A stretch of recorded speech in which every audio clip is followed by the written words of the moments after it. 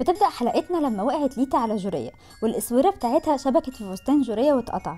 والبنت اعتذرت لجوريا وجت مامة تيم وقالت يسعدني أبلغ الجميع إن ليتا خطيبة تيم وطبعا ده صدمهم كلهم. وكل الأخبار انتشرت في كل مكان إن تيم خلاص بقى خطيبها.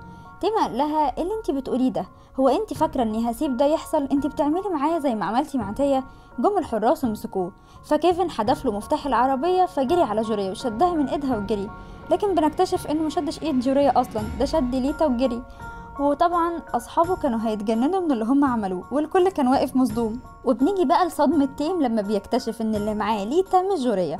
وقالت له إيه نوع اللعبة المريضه اللي أنت بتلعبها دي؟ فنزل من العربية وقال لها انزلي. قالت له لازم ترجعني للبيت. قال لها خدي كل حاجة وروحي انتي قالت له لازم تتعلم المسؤولية. فجه عشان يسيبها ويمشي فنطت على ظهره وعضته في ودنه. فبيفضل يصرخ زي الأطفال الصغيرة. فبتقول له هو المكان ده نقطة ضعفك؟ قال لها لأ. ففضلت تجري وراه وتقول له طب خليني ألمسها مرة تاني. وبنكتشف إن هي مجنونة زيها زي تيم بالظبط. مامة ليتا حاولت تعتذر لمامة تيم على اللي حصل من بنتهم لكن مامة تيم قالت لها دي كلها حيوية وتيم بيحب النوع ده من البنات وطبعا بتقول كده علشان تضايق جوريا وقالت كمان إن ليتا مناسبة جدا لتيم وبدأ الصحفيين يسألوهم وجوريا كانت واقفة بتتفرج على تصريحاتهم رين قلع الجاكيت بتاعه ولبسه لجوريا وقال لها ما تقلقيش انت عارفة تيم كويس وأوعي تترددي بسبب خطة مامة تيم. وبصت لمامته وهي بتقول للصحفيين هم هيحددوا حياتهم إحنا الكبار ملناش دور في شؤونهم وتيم على وشك التخرج وأكيد مش هيستنوا إن هم يتجوزوا بعد الجامعة أكيد هيحددوا حياتهم قبلها بكتير. وبقت كل الأخبار بتتكلم عنهم وبس. وتاني يوم في المدرسة جوريا بتتابع الأخبار وتيم بيتصل بيها لكنها بتكنسل عليه ومش بترد. وبيجي البنات يضايقوها بالكلام فبتقوم علشان تمشي فبيفضلوا يتكلموا عنها وحش. فبتجري للسطح وبتفضل تصرخ كعادتها فبتلاقي حد بيقول لها بتصرخي ليه. وطبعا مش بيكون رين خالص وبيكون تالي. قالت له بتعمل إيه هنا؟ قال لها وظفني البواب في السر كده إن أنا أدور على الحاجات حوالين المبنى وده سر وبيديني فرصة إني أعرف معلومات أكتر عن حياة ال F4 قالت له وانت ليه محتاج معلومات عنهم؟ قال لها أنا بهزر. فبتبص من السور فبتلاقي واحدة بتنط من على سور المدرسة وبتدخل جوه والأمن بيجري وراها. فتاني بيقول لها في إيه؟ قالت له مفيش أنا لازم أنزل بسرعة. وهي نازلة بيشوفها تيم وبيمسك إيديها وبيقول لها ليه بتتجنبيني؟ قالت له أنا بس مستعجلة. قال لها أنا بس عاوز أصحح لك اللي حصل امبارح. اللي حصل كان غلطك أنتي. ليه ما إيدك علشان أمسكها؟ ليه سمحتي لي أمسك إيد حد تاني؟ اعتذري لي بقى. فقامت هوب ضرباه وكان يستاهل الصراحة. وبيجي إم جي وكيفن بيلاقوه مرمي في الأرض وجوريا بتجري وبتقابل ليتا وبتخبيها من الحراس ولما بيسألوها عنها قالت لهم جريت من اتجاه تاني خالص. جوريا دخلت قعدت معاها وقالت لها إيه خلاكي تدخلي المدرسة بالطريقة دي؟ كان ممكن تقولي لهم إنك خطيبه تيم قالت لها بالعكس هيكون الأمر متعقد أكتر. وكمان أنا هنا مش عشان تيم أنا هنا علشانك أنتي. امبارح أنا قطعت لك فستانك. أنا صحيح ما لقيتش زيه بالظبط لكن جبت لك غيره. جوريا بترفض لكن ليتا بتكون مصرة جدا وبتقول لها ده علامة تجارية نادرة. فبتقول لها مش مش هاخده. قالت لها لو ما خدتيهوش هسيبه هنا لأي حد ياخده. فجوريا بتفتكر لما رفضت تاخد التليفون من تيم وقال لها هسيبه هنا لأي حد ياخده فبتاخده منها. وليتا بتقول لها متأكدة إنك هتبقي فيه جميلة وبتمشي. وجوريا بتروح لبيتها وهي بتتفرج على صور تيم وليتا. وأول ما بتدخل البيت بتلاقي تيم قاعد بياكل مع أخوها. قالت له فكرتك في ميعاد مع خطيبتك. قال لها أنا هربت. أنا رجعت يومها علشان أخدك لكن لقيتك مشيتي. وكمان النهارده ضربتيني. قالت له قوم روح لخطيبتك. قال لها أنا مش عاوزها. امي اللي أجبرتني عليها. قال لها لازم نتكلم أنا وإنتي. أنا من امبارح ما نمتش. حتى شوفي من قلة تركيزي جرحت نفسي. وكمان كنت حزين. وكمان مخدتش هدية عيد ميلادي. وفي حد عاوز يتجوزني وإنتي أصلا مش مهتمة. قالت له ما كنتش جايبة هدايا. أو رمتها أخوها قال الهدية في التلاجة. وراح خدها وكان مبسوط بيها جدا. فسمع في الأخبار عن انخفاض الأسعار اللي في البورصة بسبب الحالة الصحية لأهم رجل أعمال في تايلاند. فشكله اتغير كده وقال لجوريا هشوفك بعدين.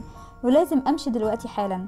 وصحابه كمان شافوا نفس الخبر وكانوا مش مرتاحين لمامة تيم وحاسين إنها بتخطط لحاجة. وكمان مامة تيم كانت مع سكرتيرها ولما سألها عن تيم وليتا قالت له مش ده اللي قلقني خالص كل حاجة هتمشي لوحدها. لكن اللي بيحصل النهاردة من ناحية الشغل حدث فريد مش بس في تايلاند لأ وفي سنغافورة كمان.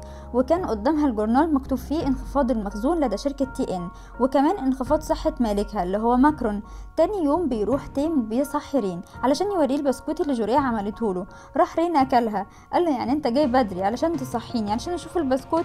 قال له لأ. قال له يعني سمعت عن حالة ماكرون؟ قال له أيوه. عشان كده لازم أرجع للبيت شوية. قال له طب وليتا؟ قال له ما تقلقش عندي طريقة أتعامل بيها معاها. وفجأة في محل الورد بنشوف إم جي وكيفن داخلين بيجروا وشكلهم كان مرهق جدا وتعبان. سألتهم جوريا إيه اللي حصل؟ قال لهم تيم طلب مننا إن إحنا نساعده في التعامل مع ليتا. لو في خريطة هشرح لكم أفضل. وجابوا الخريطة وقالوا إن هم راحوا الأول للملاهي وفضلت تلعب كتير وأقنعتهم بعدها إن هم يدخلوا رحلة مائية وبعدها طلبت منهم إنها تاكل وبعدها طلبت إنها تروح سوق الزهور وانتهى بينا الأمر هنا. كانج قالت له وهي راحت لبيتها دلوقتي دخلت ليتا وقالت لها أنا لسه كلي طاقة وكلي حيوية. وطبعا هم كانوا جابوا آخرهم وليتا قالت عليهم إنهم مملين جدا. وطلبت من جوريا تخرج هي معاها وجوريا قالت لها بس أنا عندي شغل. قالت لها يعني لو حد اشترى كل الزهور اللي في المحل مش هيكون عندك شغل وقتها تخرجي معايا عادي.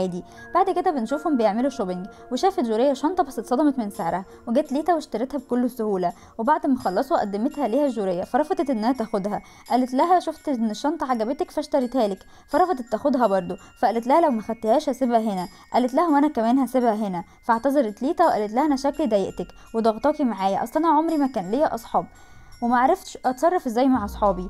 جوريا قالت لها أنا مش متضايقة بس مش تشتريش ليا حاجة تاني لأن ده بجد بيضايقني. ده حتى الفستان اللي جبتيه معرفتش أحطه في دولابي لأن السحاب كان مكسور.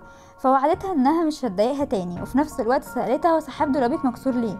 هو دولابك شكله إيه فخدتها جوريا لبيتهم وكانوا. كانت مبسوطة جدا لأنها أول مرة تشوف دولاب من النوع ده وطلبت من جوريا تس... تسمح لها إنها تيجي عندها على طول وإنها كانت مبسوطة جدا وإن اليوم معاها كويس وقالت لها إنها كانت بتتمنى يكون في حياتها حاجة بسيطة لكن باباها كان دايما مأمن حياتها حتى علاقاتها مع أصحابها ولاد أغنياء وبس وإنها قررت إنها تكون صديقة لجوريا وجوريا وافقت بصداقتها.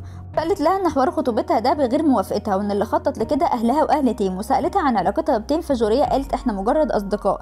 وفجأة بيجي تيم وأخو جوريا وبيشوفوا ليتا وجوريا مع بعض. تيم قال لها إيه اللي جابك هنا؟ قالت له أنا وجوريا بقينا أصدقاء. انت بتعمل أنت بتعمل إيه هنا؟ أنت كمان صديقها صح؟ انت ألطف يا جوريا من إنك تكوني صديقة لحمار زي ده ولسانه طويل. فقال لها جوريا كمان ألطف من إنها تكون صديقة لقرده زيك. وفضلوا يشتموا بعض زي الاطفال وجوريا كانت هتتجنن منهم. وكيفن كان مع كاننج في محل الورد بيجهزوا الطلبيات اللي طلبتها ليتا وكاننج شكرته على مساعدته ليها وكان خلاص هيمشي بس رجع تاني وقال لها أنا جعان ممكن تشوفي حاجة ناكلها سوا؟ وراحت وجابت له زبادي وقال لها ده أكل أطفال لازم تهتمي بصحتك شوية. وفضل يهزر معاها شوية وبعد كده فضلوا يتكلموا عن ليتا والمؤامرة اللي عاملاها مام التيم لخطوبتهم. بس اللي شغلهم أكتر إيه سبب التقرب لليتا؟ ليتا من جوريا. دلوقتي أكيد وراها خطة هي كمان. خافت كاننج على جوريا واتصلت بيها فقالت لها شكلها تعبانة جدا قالت لها مالك؟ فجابت الكاميرا على ليتا وتيم وهما بيتخانقوا مع بعض. وتاني يوم بتمشي ليتا من عند جوريا وشكرتها على النوم عندها وإن اليوم كان معاها ممتع جدا ومختلف وإنها تعيده تاني. فدخلت جوريا تتكلم مع تيم عن ليتا وهما بيتكلموا فجأة بيحضنها وبيقول لها أنا هغيب لفترة مهما حصل استنيني وخليكي صبورة وسابها ومشي. جوريا قالت أنا عرفت تيم من سنة كنت فاكرة إن أنا عارفة عنه كل حاجة لكن أدركت دلوقتي إن هو ما يتفهمش بسهولة. وشافت خبر وفاة الملياردير ماكرون وكمان رين وإم جي شافوا الخبر. وكيفن قال لكاننج استعد هيطلب منك كمية كبيرة جدا من الزهور وتيم بيرجع لبيته وبيكون خبر وفاة ماكرون منتشرة بشكل كبير جدا.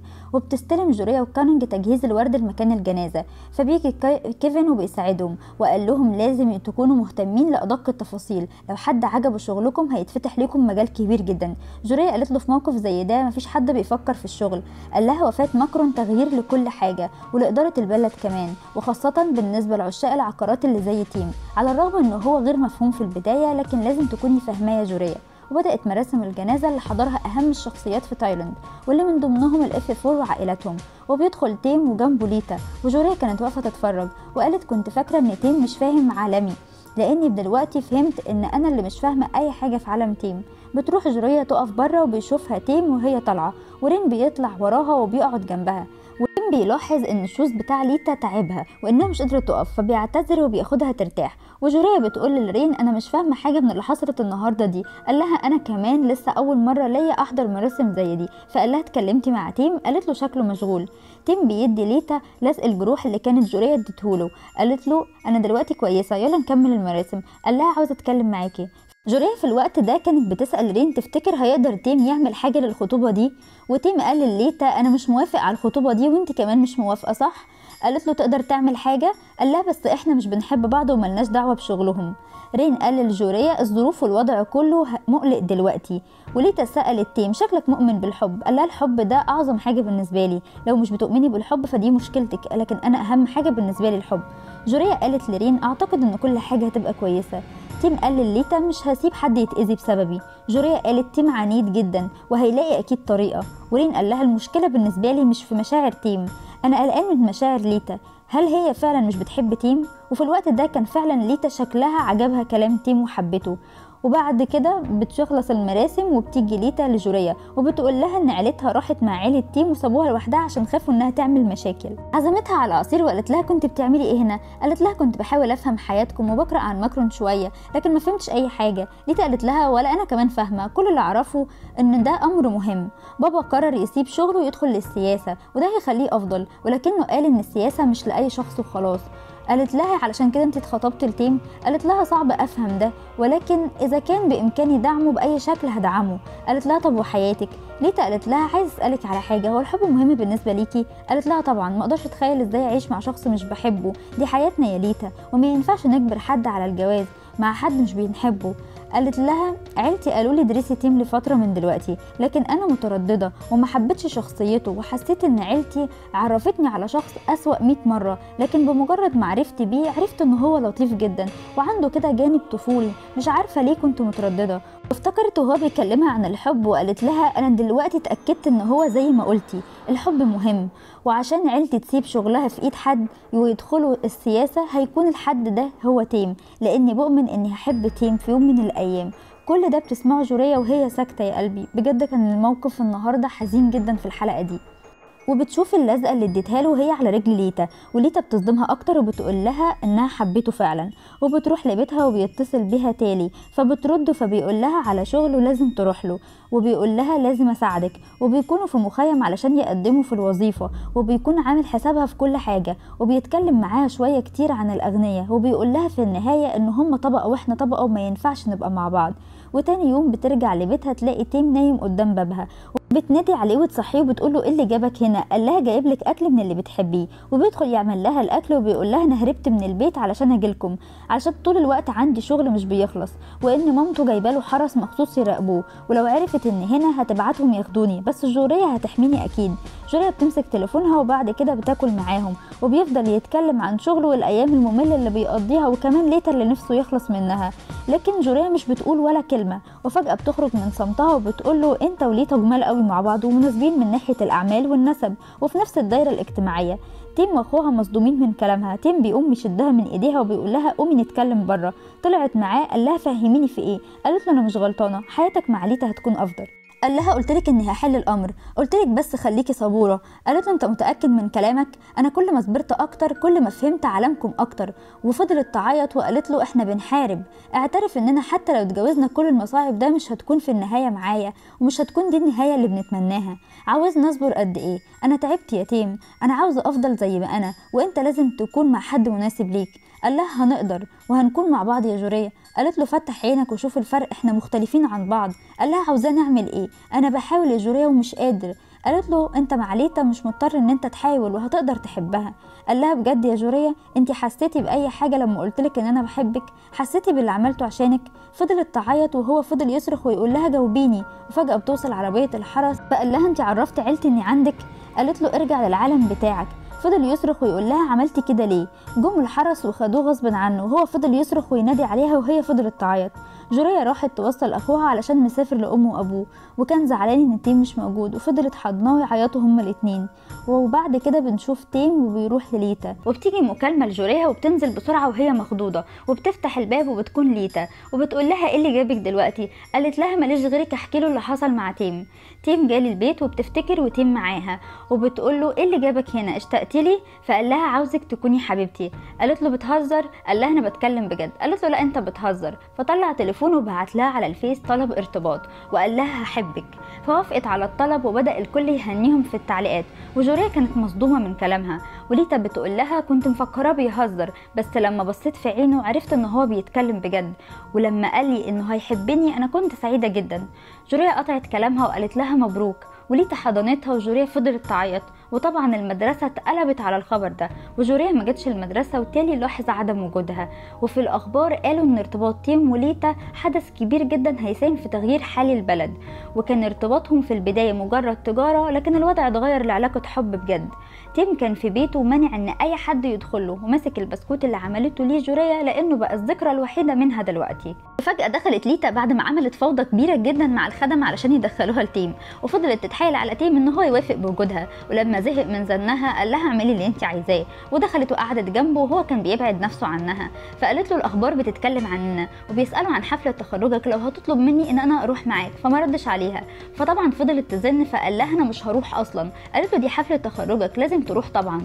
ففضلت تزن عليه وهي بتقرب منه. فزقها وقال لها انت إيه مشكلتك؟ فوقعت على الأرض. هو بص لها بقى إنها زعلت وكده لكن هي قامت وقفت على الكرسي ونطت عليه وقالت له عاوزه أروح الحفلة. وطبعا في النهاية هو اضطر يوافق بعد ما اتحايلت عليه كتير. فقالت له طب يلا بينا على المدرسة هتتأخر على امتحانك. قال لها عرفتي منين إن أنا عندي امتحان؟ فطلعت مفكرة وقالت له سألت إم جي. وبنشوف إم جي وهو رايح يتمرقع مع بنتين. وبتيجي ليتا تسأله عن تيم ويقول لها أي معلومات عنه مهمة أو كده. فبيقول لها أنا مش فاضي علشان معايا البنات. وبيجي يمشي فبتقول له كده هتسيبني؟ طب ابنك اللي في بطني ده طب لو انت ضحكت عليا فارحم البنتين دول. فطبعا البنات خافت ومشوا على طول. قالت له دلوقتي انت فاضي. قول بقى. فطبعا بيقول لها على كل حاجة. وبيحكي اللي حصل ده لكيفن ورين. وكيفن بيكون متضايق من اللي هو عمله وبيقول له فكر في جوريا. قال له أنا ما زلت مع جوريا. كيفن سأل رين انت اتكلمت مع تيم عن جوريا؟ قال له لأ. ام جي قال له هو مين يقدر يجبر تيم على حاجة؟ ممكن تيم يكون حب ليتا. كيفن قال له تيم مش الشخص اللي ممكن يتنقل من واحدة لواحدة بسهولة كده. فبتتصل كاينج وبيقوم يكلمها. ورين كمان بيروح يدور على جوريا وبيطلع لها على السطح. فبيقول لها بتعملي إيه؟ بتفكري في تيم؟ كلنا محتارين بسبب انفصالكم. قالت له إحنا ما كناش في علاقة ارتباط من المقام الأول. قال لها لو سبت الأمور كده مش هتكوني بخير. فبيجي لها تليفون وبيكون أخوها باعت فيديو ليه مع أمه وأبوه. وبتتفرج عليهم وهم يكونوا وحشينها جدا. بعد كده بتقول بصوت عالي اللي يحصل يحصل. لازم أتخطى كل اللي بيحصل ده. وقالت لرين أرجوك لو عندك وقت فاضي ساعدني في دراستي وفي الامتحانات عشان الامتحانات قربت جدا. بعد كده بنشوفها في المكتبة وبتشوف دعوة حفله تيم وبتفتكر وهي لسه مع رين وبيقول لها لو انت مش بخير ما تتصرفيش بعكس اللي جواكي. قالت له لازم اعدي واكمل لقدام زي ما تيم عمل. قال لها تيم مش من النوع اللي بيقدر يتخطى وينسى بسرعة وخاصة لما الأمر بيكون يخصك انت. وفجأة بتلاقي الكل بيجري على الشباك وبتروح تشوف في إيه. فبتلاقي تيم وليتا وليتا بتقرب منه وبتبوسه. وفي نفس الوقت ده بيكون أصحابه واقفين وبيشوفوا اللي حصل. جوريا بتتضايق وبتدخل ورين بيشوفها وبيروح لها. تيم بيزق ليتا وقال لها إيه اللي عملتيه ده؟ قالت له دي علشان أتمنى لك التوفيق ما كل المخطوبين بيعملوا كده. قال لها بس انت ما تعمليش كده تاني. قالت له المرة اللي جاية هعمل أكتر من كده. جوريا بتروح للمكتبة وبيجي البنات يضايقوها بالكلام لأن طبعا دي فرصتهم. ولما بيزيدوا أكتر في الكلام وفي المضايقة ليها بيجي تالي وبيوقع عليهم الكتب فبيمشوا. وجوريا بتشكره على اللي عمله علشانها. فادها ظرف فيه ملخصات لامتحاناتها علشان تعرف تذاكر كويس. فسألته لو في وظيفة قدامه. فقال لها إزاي وإحنا داخلين على امتحانات؟ فقالت له لازم أساعد عيلتي. قال لها وظيفة في وظيفة دلوقتي وظيفة إنك تكوني مراتي. قالت له ها؟ قال لها كنت بهزر. في وظيفة إنك تستلمي المكالمات وتساعديني في شيل الحاجات وأنا أوصلها. فهنكون طول الوقت مع بعض. قال لها ما سمعتيش عنها قبل كده؟ قالت له ما سمعتش عنها بس موافقة. فمدت إيدها وقالت له اتفقنا. فشدها عليه وقال لها على فكرة لما قلت لك تكوني مراتي ما كنتش بهزر. ففضلت تضرب فيه وقال لها خلاص خلاص كنت بهزر معاكي. ورين كان واقف وسامع كل ده. جوريا قالت لكاينج ان ليتا باست تيم. قالت لها وانت عملتي إيه؟ قالت لها هعمل إيه؟ ليتا جميلة وتستحق. قال لها إزاي؟ قالت له ليتا صاحبتي واللي يسعدها يسعدني وبيجي تيلي وبياخدها وبتمشي. فكاينج بتقول له لو عندي نص شجاعتها كنت عملت حاجات كتيرة قوي قال لها انت تقدري. وامتحانات ال F 4 بكرة. قالت له يعني جوريا هتمتحن بكرة؟ قال لها لا الأكبر هيمتحنوا الأول. فقال لها لو في حاجة عاوزة تعمليها ما تتردديش.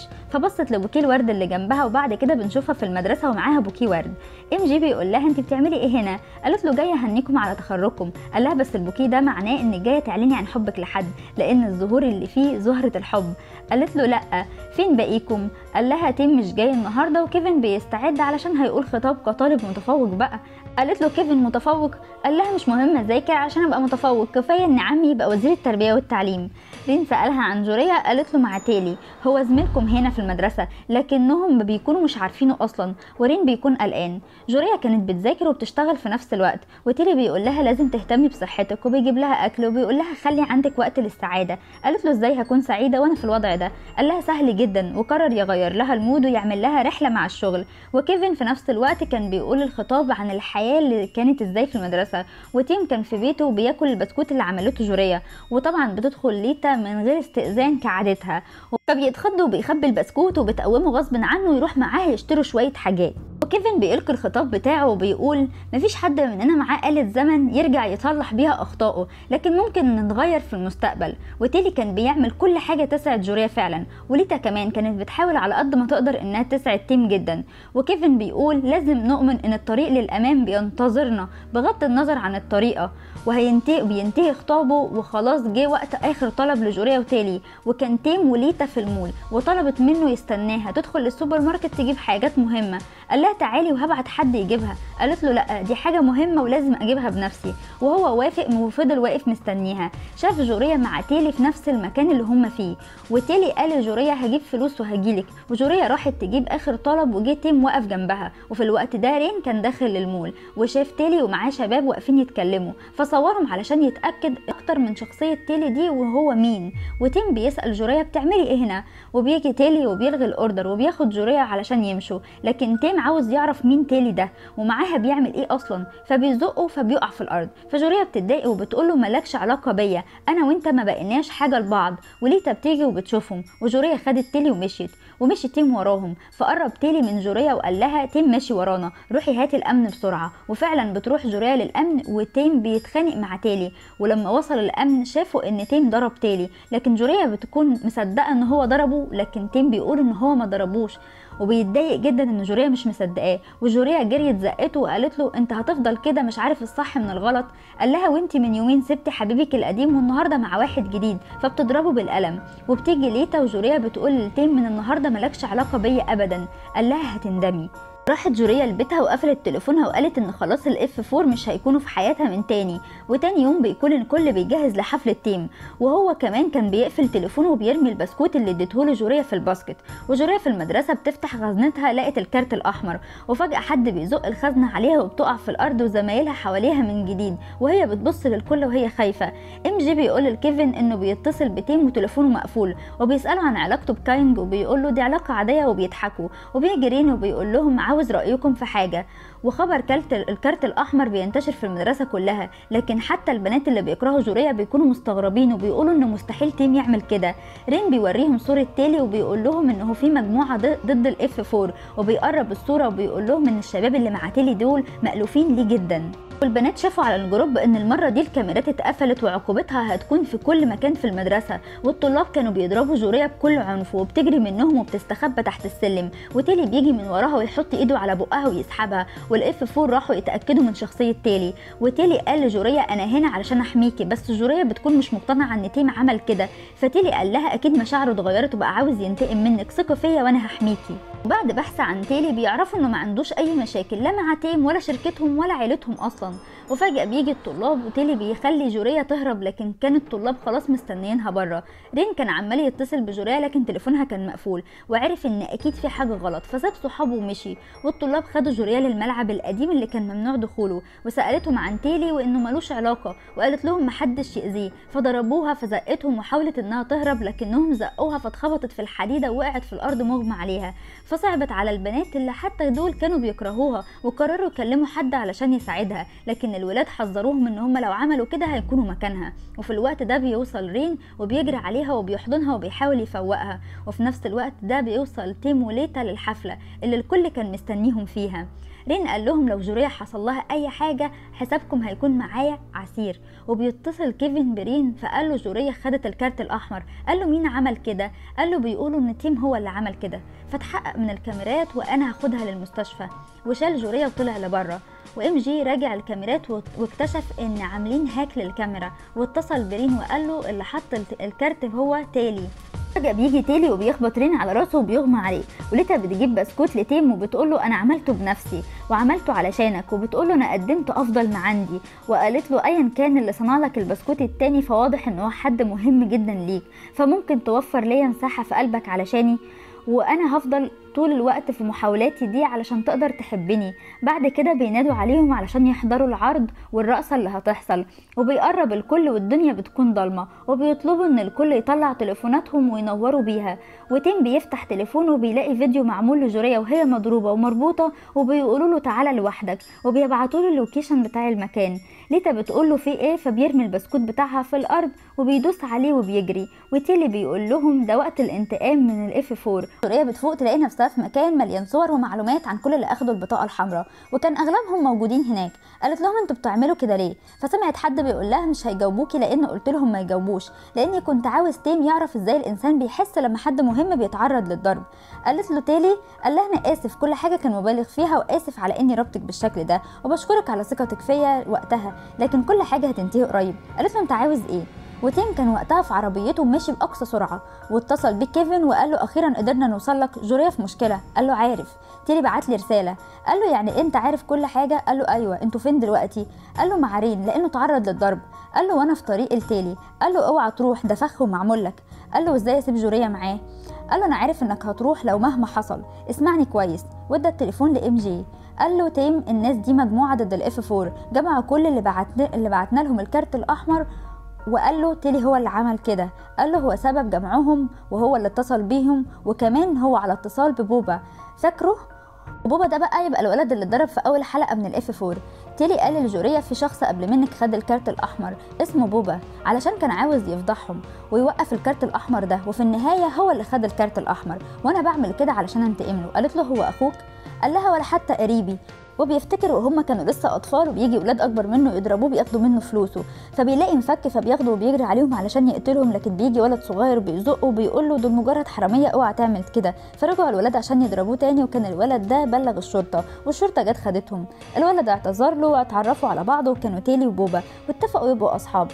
لها أنا وبوبا بقينا أصدقاء جدا رغم فرق الطبقات اللي ما بينا عيلته كانت طيبة جدا معايا وأنا كنت ولد يتيم وهم علموني كل حاجة وقدرت ألاقي وظايف وأكسب فلوس وخلى باله مني جدا زي أخوه وأكتر كمان وكنت أثق فيه لحد كبير جدا وكنت شايف إن هو في المستقبل هيبقى حد كبير جدا لكنه حتى ما قدرش يبقى في المستقبل طبيعي واللي كان السبب في كده هما الاف 4 وتيم في الوقت ده كان جاي باسرع ما يمكن. جوريا قالت له أنت حتى مش طالب في المدرسة. قال لها أنا اخترقت بيانات المدرسة وزودت بياناتي. قالت له إزاي عملت كده؟ قال لها مش صعب لو قلبك كله نار وكان عندك التكنولوجيا والمعلومات اللي تقدر تساعدك إن أنت تعملي كده وتاخدي حقك وتنتقي. وافتكر لما حصل فيروس في أجهزة الشركة بتاعت والد بوبا وصلح هو العطل اللي في الأجهزة وكان مبسوط جدا إنه قدر يوصل لمرحلة زي دي. وجه واحد من اللي شغالين في الشركة وقال له ليه ما قلتليش إنك كويس في شغل الهاك للدرجه دي؟ لأن أنا كنت بدور على حد لاني محتاج مساعده وعاوز كل ملفات الشركة على الفلاشه دي. تيلي طبعا رفض. قال له أنا اتربيت في الشركة دي فحط السلاح على ظهره وهدده وقال له مجرد ما تنتهي من شغلك هقتلك. فجاله تليفون وراح علشان يرد وكان وقتها تيلي بيسجل كل اللي حصل. ولكن واحد من الحراس شافه وقال له بتعمل إيه؟ وطبعا مسكوه ضربوه. وقال له إنهم هيقتلوه لما مجرد ما هيخلصوا ولكن بوبا جه بسرعة بس جه لوحده واتضربوا طبعا هما الاثنين وطلع مبلغ الشرطة بس لما سمعوا صوت الشرطة وي وي وي وي وي رئيسهم جري بسرعة على الجهاز علشان ياخده لكن بوبا حاول إن هو يوقفه علشان ما يهربش. لكن الراجل ما كانش لسه هيرغي معاه. فطبعا طلع سلاح وجه علشان يضربه فالضربة جت في تيلي لأنه هو ضحى بنفسه عشانه. وقرر تيلي يوقف له النزيف بلزق يعني كده يلزق له الجرح أي كلام بأي شريط لزق وخلاص. فطبعا بيروحوا المستشفى وبيتعالج وبيفضلوا يضحكوا لأنه كان متسرع جدا لكن هو عمل كده لأنه كان خايف على تيلي بجد. وبابا بوبا كان عامل له مفاجأة ومقدم له في كلية عالية جدا علشان يدرس العلوم والتكنولوجيا أكتر عشان موهبته ما تبقاش على الفاضي. وتيلي قال له أنا صحيح مندفع لكن أنت أماني الوحيد وبكون مرتاح جدا لما بتكون جنبي. ووافق تيلي إن هو يدخل للم... للكلية دي وكانوا مبسوطين جدا مع بعض. وكمان اداله حاجة زي جراب كده يمضي له عليها كتذكار لليوم ده. وهو نايم في السرير بقى مضروب بنشوف بعد كده إن هو الدكتور بيحكي لهم تفاصيل الحادثة واللي حصل. وقال لهم إن الضرب ده ما كانش عنيف ولكنهم سابوه فغرق في المية اللي كانت موجودة في الأرض لما أغمى عليه يعني وكده. وده كان سبب الحالة الخطيرة اللي هو كان فيها. وإن نيابة المدرسة عاوزة تحل المشكلة ودي ومفيش في إيدينا أي حاجة نعملها. ولما لقينا بوبا كان في إيديه التوقيع طبعا اللي تيلي كان اداهوله وطبعا تيلي لما أخده كان عاوز ينتقم ليه. والمدرسة بعدها نيمت القضية وما بقاش في حق لتيلي خالص. ووالده صرف كل اللي يملكه على علاجه لحد ما بقى مديون وقفل المصنع بتاعه. وطبعا السبب في كل اللي حصل ده كان ال F4 وطبعا مفيش أي دليل. فاستخدمت معلومات بوبا علشان أدخل للمدرسة. وجي حظي إني جيت متأخر والملعب القديم اتقفل وما بقاش فيه كارت أحمر أصلا. بس ده مش معناه إن مفيش حد بيكره ال F4 وبدأت أعمل أبحاثي وأجمع اللي اتعرضوا للكارت وبيكرهوهم. لأن الأمر ما كانش سهل قدرت ألاقي مجموعة صغيرة جدا بس هي اللي بتفكر بنفس تفكيري. وجي اليوم اللي هناخد فيه حقنا من الشخص الوحيد اللي فلت يا جوريا هو أنتي. أنا اتعودت إنك ضدهم. لكن شوفي دلوقتي كان زمانك واقفة معانا. لكن شوفي نفسك دلوقتي انت فين. قدرتي إزاي تسامحيهم. قربتي منهم كمان ومش عارف إزاي خدعك تيم لكن لازم تعرفي إن هم قد إيه أشرار. فاتش الاوان يا جورية علشان تبقي معانا وتغيري رأيك. جورية جابت آخرها خلاص وصرخت فيه وقالت له أنت عاوز إيه؟ أنا عاوز أمشي من هنا. قال لها يعني بعد كل اللي أنا قلته ده أنت لسه مش فاهمة؟ قالت له فاهمة لكن بغض النظر دي مش الطريقة الصح اللي ممكن أتغاضى بيها عن اللي بيحصل ده. قال لها دي الطريقة الصح مع دول. اللي ماسكين الدنيا في إيديهم ومفيش علاج ليهم هم أشرار بطبيعتهم. قالت له أنت قلت إنهم مش قادرين يتغيروا لكن أنت شايف إن ده صح؟ فافتكر وتيم كان معاه وتيلي فضل يستفز فيه علشان يضربه ومد ايده عليه علشان يضربه كمان لكن تيم اتضايق وكان فعلا هيضربه لكن مسك نفسه. ولما تيلي سمع صوت جوريا رمى نفسه في الأرض وإن تيم ضربه يعني. جوريا قالت له أنا متضايقة من نفسي جدا لإنك خدعتني بس كان لازم أعرف إن تيم عمره ما هيرجع الكارت الأحمر تاني. وإنت علشان تنتقم خليت تيم في نظر الكل وحش عشان تبرر لنفسك. قال لها لازم لكن لازم يدفعوا الثمن يا جوريا. قالت له يعني مش أنت اللي المفروض تدفع الثمن عشان اعتديت؟ ما تعملش كده يا تيلي وثق فيا. ما فاتش الأوان لتغييرك. فصرخ فيها ورمى الحاجة في الأرض وقال لها أخيرا وصلنا للنهاية. وفي الوقت ده كان خلاص تيم وصل. وقال له خلي جوريا تمشي. قال له ما تخافش أنا مش هأذي جوريا. قال له أنا عكسك تماما. أنت بتدمر حياة الناس وطلع له الكارت الأحمر وقال له ده الكارت اللي دمرت بيه حياة الناس. كنت بتستخدم ثروة عيلتك علشان تغطي على أفعالك. تيم قال له فعلا أنا اللي عملت كل حاجة. فمسكوه الطلاب وبدأوا يضربوه. وجوريا فضلت تصرخ وتقول لهم سيبوه لكنهم كانوا مستمرين في ضربه وهي تصرخ وتعصب تيلي من صوتها وقال لها في وجود تيم أنت ما عادش ليكي أي لازمة. كل اللي عليكي إنك تتفرجي وبس عليه وهو بيتضرب. والأحلى من ده كله اننا ننشر له مقطع فيديو على مواقع التواصل الاجتماعي وهو في المنظر ده. فقالت له بطل تخدع نفسك. أنت مش كده. قال لها أنا ما خدعتش نفسي أنا بخدعك أنت. قالت له أنت مش شخص وحش. لو كنت وحش كان فعلا بوبا كرهك. من القصة اللي حكيتها لي بوبا اختارك علشان أنت شخص طيب. سيبك من كل اللي بتعمله ده. انت جواك حد كويس فبيجي ولد من اللي معاهم وبيزقها في الأرض وبيقول لها بطلي تتكلمي في الفاضي وقال لتيلي اهتمي بيها علشان تسكت. فتيم صرخ جامد قوي لما شافها اترمت في الأرض. فتيلي جاب ازازه وضرب بيها الولد على راسه وكمل ضرب فيه وقال له مين اللي قالك تضربها؟ وقال لها انت مش فاهمة أنا إمتى بكون سعيد؟ دلوقتي يا جوريا وراح يضرب في تيم وجوريا فضلت تصرخ وتقول له كفاية. قال لها أنا سعيد جدا وأنا بعمل كده. وفضل يضرب في تيم أكتر ويقول له اتكلم وقول لي كفاية. فتيم قال له أنت هتوقف لما هتحب. بس عايز أقول لك إن ده مش وش حد سعيد خالص باللي بيعمله. فضل تيلي يعيط وقام كمل ضرب في تيم وجوريا كانت بتبص له وتعيط وبتصرخ علشان يوقف. وتيم قال لها ما تقلقيش. يا جوريا أنا مش هموت بسهولة. فقالت له دافع عن نفسك. قال لها لو قاومت هخسر. وتيلي زود ضرب فيه وكل الولاد كانوا خايفين جدا من الحالة اللي وصل لها تيلي. ومسكوا الولد وقال له كفاية هيموت في إيدك. فقال لهم لو مات أنا هتحسن. وراح علشان يجيب كرسي عشان يضربوا بيه. وجوريا فضلت تصرخ وحاولت تفك نفسها. وقامت بسرعة قبل ما ينزل بيه على تيم ونامت على تيم والضربة جت عليها هي. وتيلي اتصدم لما ده حصل. وتيم فضل يصرخ وينادي على جوريا وتيلي فضل يعيط. وبعد كده بنشوف جوريا في المستشفى وكانت كانت بتتكلم مع كيفن في التليفون وقالت له إنها فاقت. فقال لها فقالت لها هو أنا كنت فاقدة الوعي من زمان؟ قالت لها أيوه والكل كان قلقان عليكي انت كنت فاقدة الوعي من أيام. فقالت لها تعرفي إيه اللي حصل لتيم؟ هو كويس ولا لأ؟ فسكتت كاننج وجوريا جريت على بره على الاستقبال علشان تسأل على مكانه وجريت على الأوضة. فلقيت أصحابه كلهم متجمعين معاه لكنهم مغطيين وشه على إن تيم مات. فقالت لهم هو ده بجد؟ لكنهم ما ردوش عليها وفضلوا ساكتين. ففضلت تعيط وتقول له إزاي هتسيبني؟ أنا حتى ما قلتلكش قد إيه أنا كنت بكرهك ولا حتى قلت لك أنا بقيت قد إيه بحبك أكتر من الأول. فطبعا من المتوقع إنه عامل فيها مقلب هو وصحابه كمان علشان تقول له إنها بتحبه. وهم فضلوا يضحكوا عليها وهي كالعادة كملت ضرب فيه هو وإم جي. بعد كده شدها تيم وقال لها أنت مش سعيدة إن أنا بخير؟ أنا بقى سعيد إنك قلت لي إنك بتحبيني وأنا كمان بحبك. فضربته وقالت له هو ده وقت رومانسية؟ وفي الوقت ده بتتراجع ليتا عن إنها تدخل للأوضة علشان سمعت كل حاجة حصلت وبتمشي وبترمي الورد اللي جابته في الباسكت. ونزلوا كلهم علشان يروحوا بعد زيارة تيم وجوريا. وكيفن بيطلب من كاننج إنه هو يوصلها. ولما بتركب مش بتكون عارفة مكان حزام الأمان. وبتقول له مش عارفة الناس بيحبوا العربيات الغالية دي على إيه. فقال لها هقول لك دلوقتي بيحبوها على إيه. ومشي بسرعة جدا. وهي فضلت تصوت ووصلها وقرب عليها فافتكرت إنه هيبوسها. لكنه كان بيجيب حاجة من جنبها. ودي كانت رسومات جدته لطريقة عمل إكليل وشبكات الورد الرقيقة. وقالت له إنها ما لقتش ده على النت خالص فقال لها طبعا لأنها فريدة وأنا كان ممكن أساعدك كمان إنك تنفذيها. فقالت له شكرا على كل التفاصيل الصغيرة اللي أنت علمتها لي دي. إحنا اتكلمنا كتير وأنا هوريك النتيجة بعد كده في النهاية. ونزلت فنده عليها وقال لها اعتني بجوريا كويس. هي مرت بوقت صعب جدا ومحدش عارف إيه اللي ممكن يحصل بعد كده. كيفن بعت لتيم إيه هي الخطوة اللي هنعملها بعد كده؟ قال له عندي معروف اطلبه منك. وبعد كده بنشوف إم جي وهو بيستلم ملف بوبا. ورين بيروح للمستشفى يستلم تقاريره الطبية. وبيجي تيلي وبيقول لرين أنت عاوز تعمل إيه؟ رين قال له إحنا اتفقنا إن كل اللي حصل ده كان بسبب ماضينا ولازم نصلحه. وتيم قرر يجمع باقي الطلاب اللي اداها الكارت الأحمر ويعتذر لهم كلهم. قال له اعتذار دي أنانية مين اللي هيغفر لكم؟ قال له إن تيم راح فعلا وكل الطلاب سامحوه ما عادش فاضل غير بوبا بس.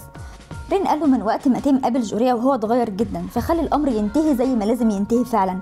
قال له كان لازم ينتهي بشكل تاني إن أنتقم منكم كلكم. وقت ما كان بيسأل مين مسؤول عن الكارت الأحمر اللي كان بيحصل مع تيم كله كان متصور وهو كان مصوره فيديو. فقال له الطريقة الوحيدة هي إني أفضح أفعالكم. وايا كان مين اللي كان قايل لكم إن أنتوا تبدأوا الكارت الأحمر إزاي كان لازم تاخدوا جزاءكم. وافتكر رين إن كان حوار الكارت الأحمر ده بسبب مامة تيم وهي اللي قالت عليه. بعد كده بنشوف جوريا وهي راجعة لبيتها وبيجي مجموعة يخطفوها. وتيلي قال لرين اعترافكم واخطائكم كل شيء هينتهي قبل فوات الأوان. واللي خطفوا جوريا ودوها لبيت تيم. فقالت لهم جايبيني هنا ليه؟ لمامة تيم. وطلع تيم هو اللي أمرهم يجيبوها مش خاطفينها يعني. فقالت له جبتني هنا ليه؟ قال لها عاوز أقولك على حاجة واسمعي لي كويس. قال لها رين قابل تيلي لكن تيلي قرر إن هو ينشر كل حاجة عن الكارت الأحمر. هتكون أخبار كبيرة بمجرد ما الخبر ده ينتشر. وتيلي عاوزني أعترف قبل أي عقوبة تانية لكن لو وافقت حياتي مش هتكون زي ما كانت. قالت له يعني هتعمل إيه؟ قال لها خدت قرار. وبيفتكر وقت ما رين كان بيتكلم مع تيلي وبيروح ياخد من إيده التليفون. وتيلي بيقول له هتدمر الأدلة كعادتك.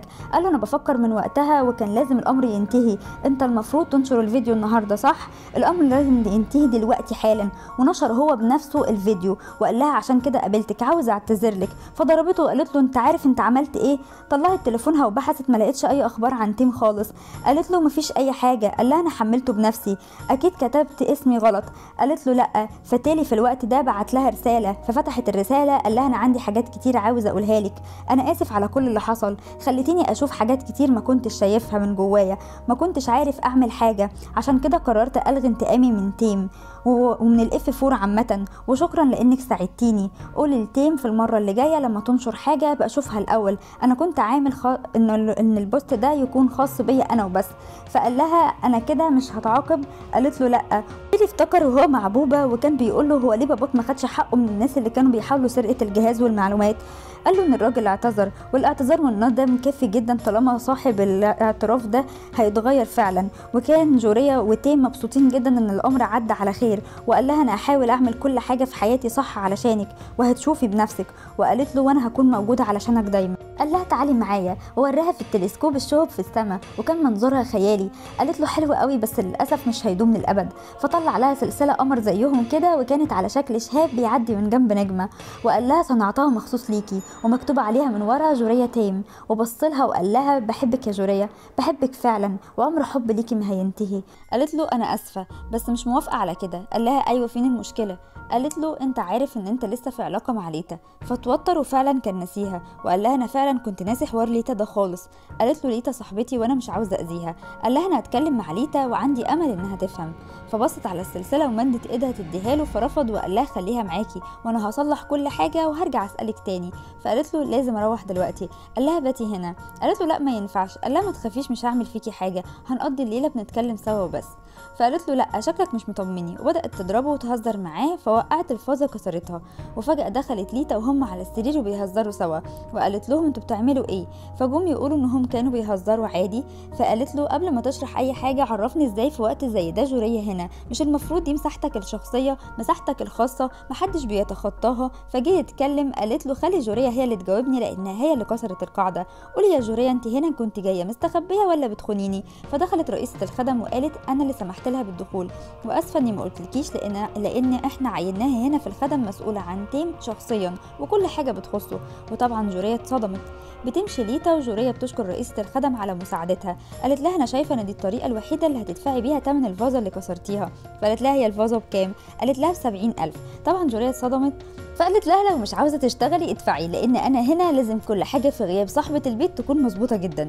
قالت لها خلاص أنا موافقة هشتغل. وعرفتها على تيتي وجيو الخادمات الأساسيات في البيت. وقالت لها هيساعدوكي وهيعرفوكي على الشغل. وسابتهم ومشيت. والبنات كانوا متفاجئين وسألوها مش أنتي صاحبة تيم؟ قالت لهم أيوه لكن هشتغل معاكم فترة مؤقتة. تاني يوم لبسوها لبس الخدم وبدأوا يعلموها الشغل. وراحوا يهتموا بأوضة تيم وهو نزل وقعد معاهم. ورئيسة الخدم كانت متابعاهم. وراحت جورية تنظف أوضة تيم وكان طالع من الحمام وفضلت تصرخ قال لها المرة دي الحق مش عليا دي أوضتي.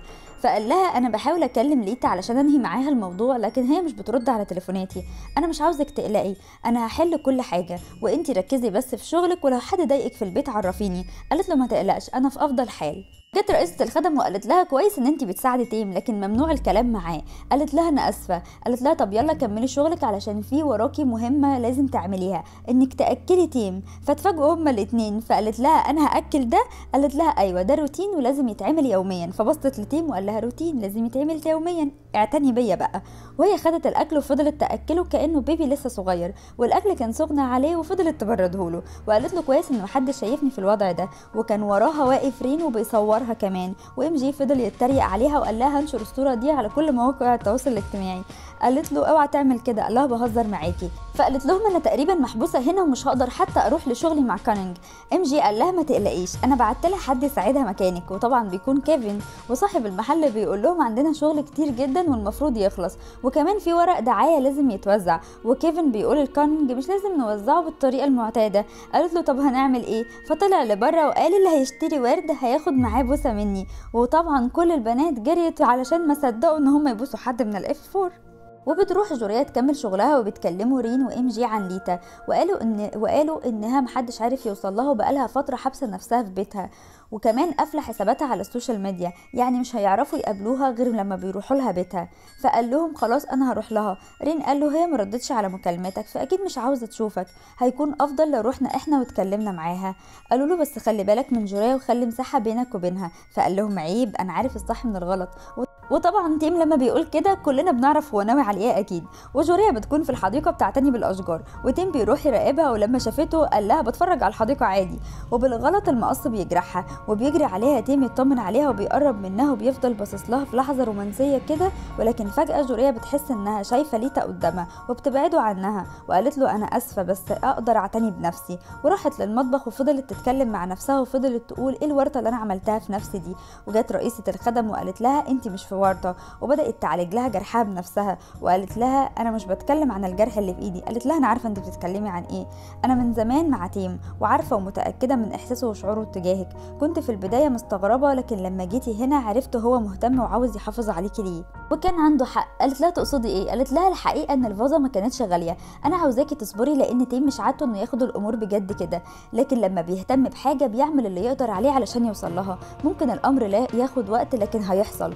وصاحب المحل بيشكر كيفن على إنه وزع الورد كله وطلب من كاننج تقفل المحل لانهم اكتفوا من البيع النهارده. وبس كيفن كمان من فرحته. ورين بعت رسالة لكيفن وقال له ليتا رفضت تقابلنا. وكيفن عرف إن كانونج حاولت إنها تعمل الإكليل زي رسومات عيلته لكنها فشلت فقال لها يعني معاكي معلم عظيم زيي ومش عاوزه تطلبي مساعدته هعلمك أنا. وقعد يتكلم معاها عن الورد والحفلات وعمل لها كمان نسكافيه عشان تركز معاه. وقال لها قلت لك ركزي مش طول الوقت بتفكري فيا. قالت له أنا بفكر في جوريا. قال لها ما تقلقيش جوريا مرت بحاجات كتير أنا عارفة لكن هي هتبقى كويسة. قالت له بس أنا عاوزاها تكون سعيدة في حياتها. قال لها الحب ده شيء حساس جدا. في النهاية لازم حد يتأذي. وهي سرحت معاه في الكلام وجرحت نفسها وهي بتعمل الاكليل فقرب عليها جدا وكان خلاص هيبوسها لكن حس فجأة إن في حد بينده عليه. فسابها وقال لها هجيب شنطة الإسعافات. قالت له خلاص. وحطت صباعها في بقها زي الأطفال بالظبط كده. فهو ضحك عليها وقال لها مش لو مش عاوزة تتأذي ركزي. قالت له مين عاوز يتأذي؟ قال لها فعلا. لكن هي دي الحياة. وفي الوقت ده كان تيم بيرن على ليتا. وهي برضو رافضة ترد عليه. جت جوريا لتيم فقال لها على ليتا واللي بتعمله معاه وقال لها اتكلم مع أمي عشان نخلص, من حوار الخطوبة ده. فبيفضلوا يتكلموا ويهزروا سوا وبتقول له من هنا عشان انضف مكانك. وبيتفاجئوا بليتا واقفة قدامهم. فجت رئيسة الخدم وقالت لها من إمتى انت هنا؟ قالت لها من وقت طويل. وكفاية إن شفت خدامتكم بتتصرف إزاي مع صاحب البيت. فقام تيم وقال لها كويس إنك هنا عشان في أمور لازم تتصلح. قالت له أمور إيه؟ أنت فاكرني إن أنا غبية؟ كل حاجة واضحة. عارفة إنك أنت وجوريا بتحبوا بعض وعارفة إنك عاوز تلغي الخطوبة لكن أنت فاكر إن ده هيحصل؟ قال لها هعمل ده حتى لو مهما كان الأمر صعب. أنا حضرت تذكرتين سفر وإحنا الاتنين هنسافر وهنتكلم مع أمي. قالت له فات الأوان وخدت التذكرتين من إيده وقطعتهم وقالت له أنا اتكلمت مع مامتك وخدت إذنها إني هنقل وأعيش معاك هنا في نفس البيت ده. قال لها مش من حقك. قالت له وليه لأ؟ الشخص اللي من حقه يقرر هنا هو مامتك وبس وأنت ما تقدرش حتى تعرضها. وهي لعبة زي اللي لعبتها جورية علشان تكون خدامة هنا. فخدي شنطتي على أوضتي الجديدة يا جورية فتم قال لها انت بتقولي إيه؟ جورية ردت وقالت لها تمام هعمل كده. وراحت فعلا تشوف شغلها زي غيرها. فتم جه يروح وراها فمسكت إيده فشدها منها وقال لها مش من حقك تعملي كده. قالت له لو اتحركت حركة هقول لبابايا وهستخدم كل قوتي وأدمر لك جوريا وأنت عارف إن أنا أقدر. فيلا يا بيبي علشان نتعشى.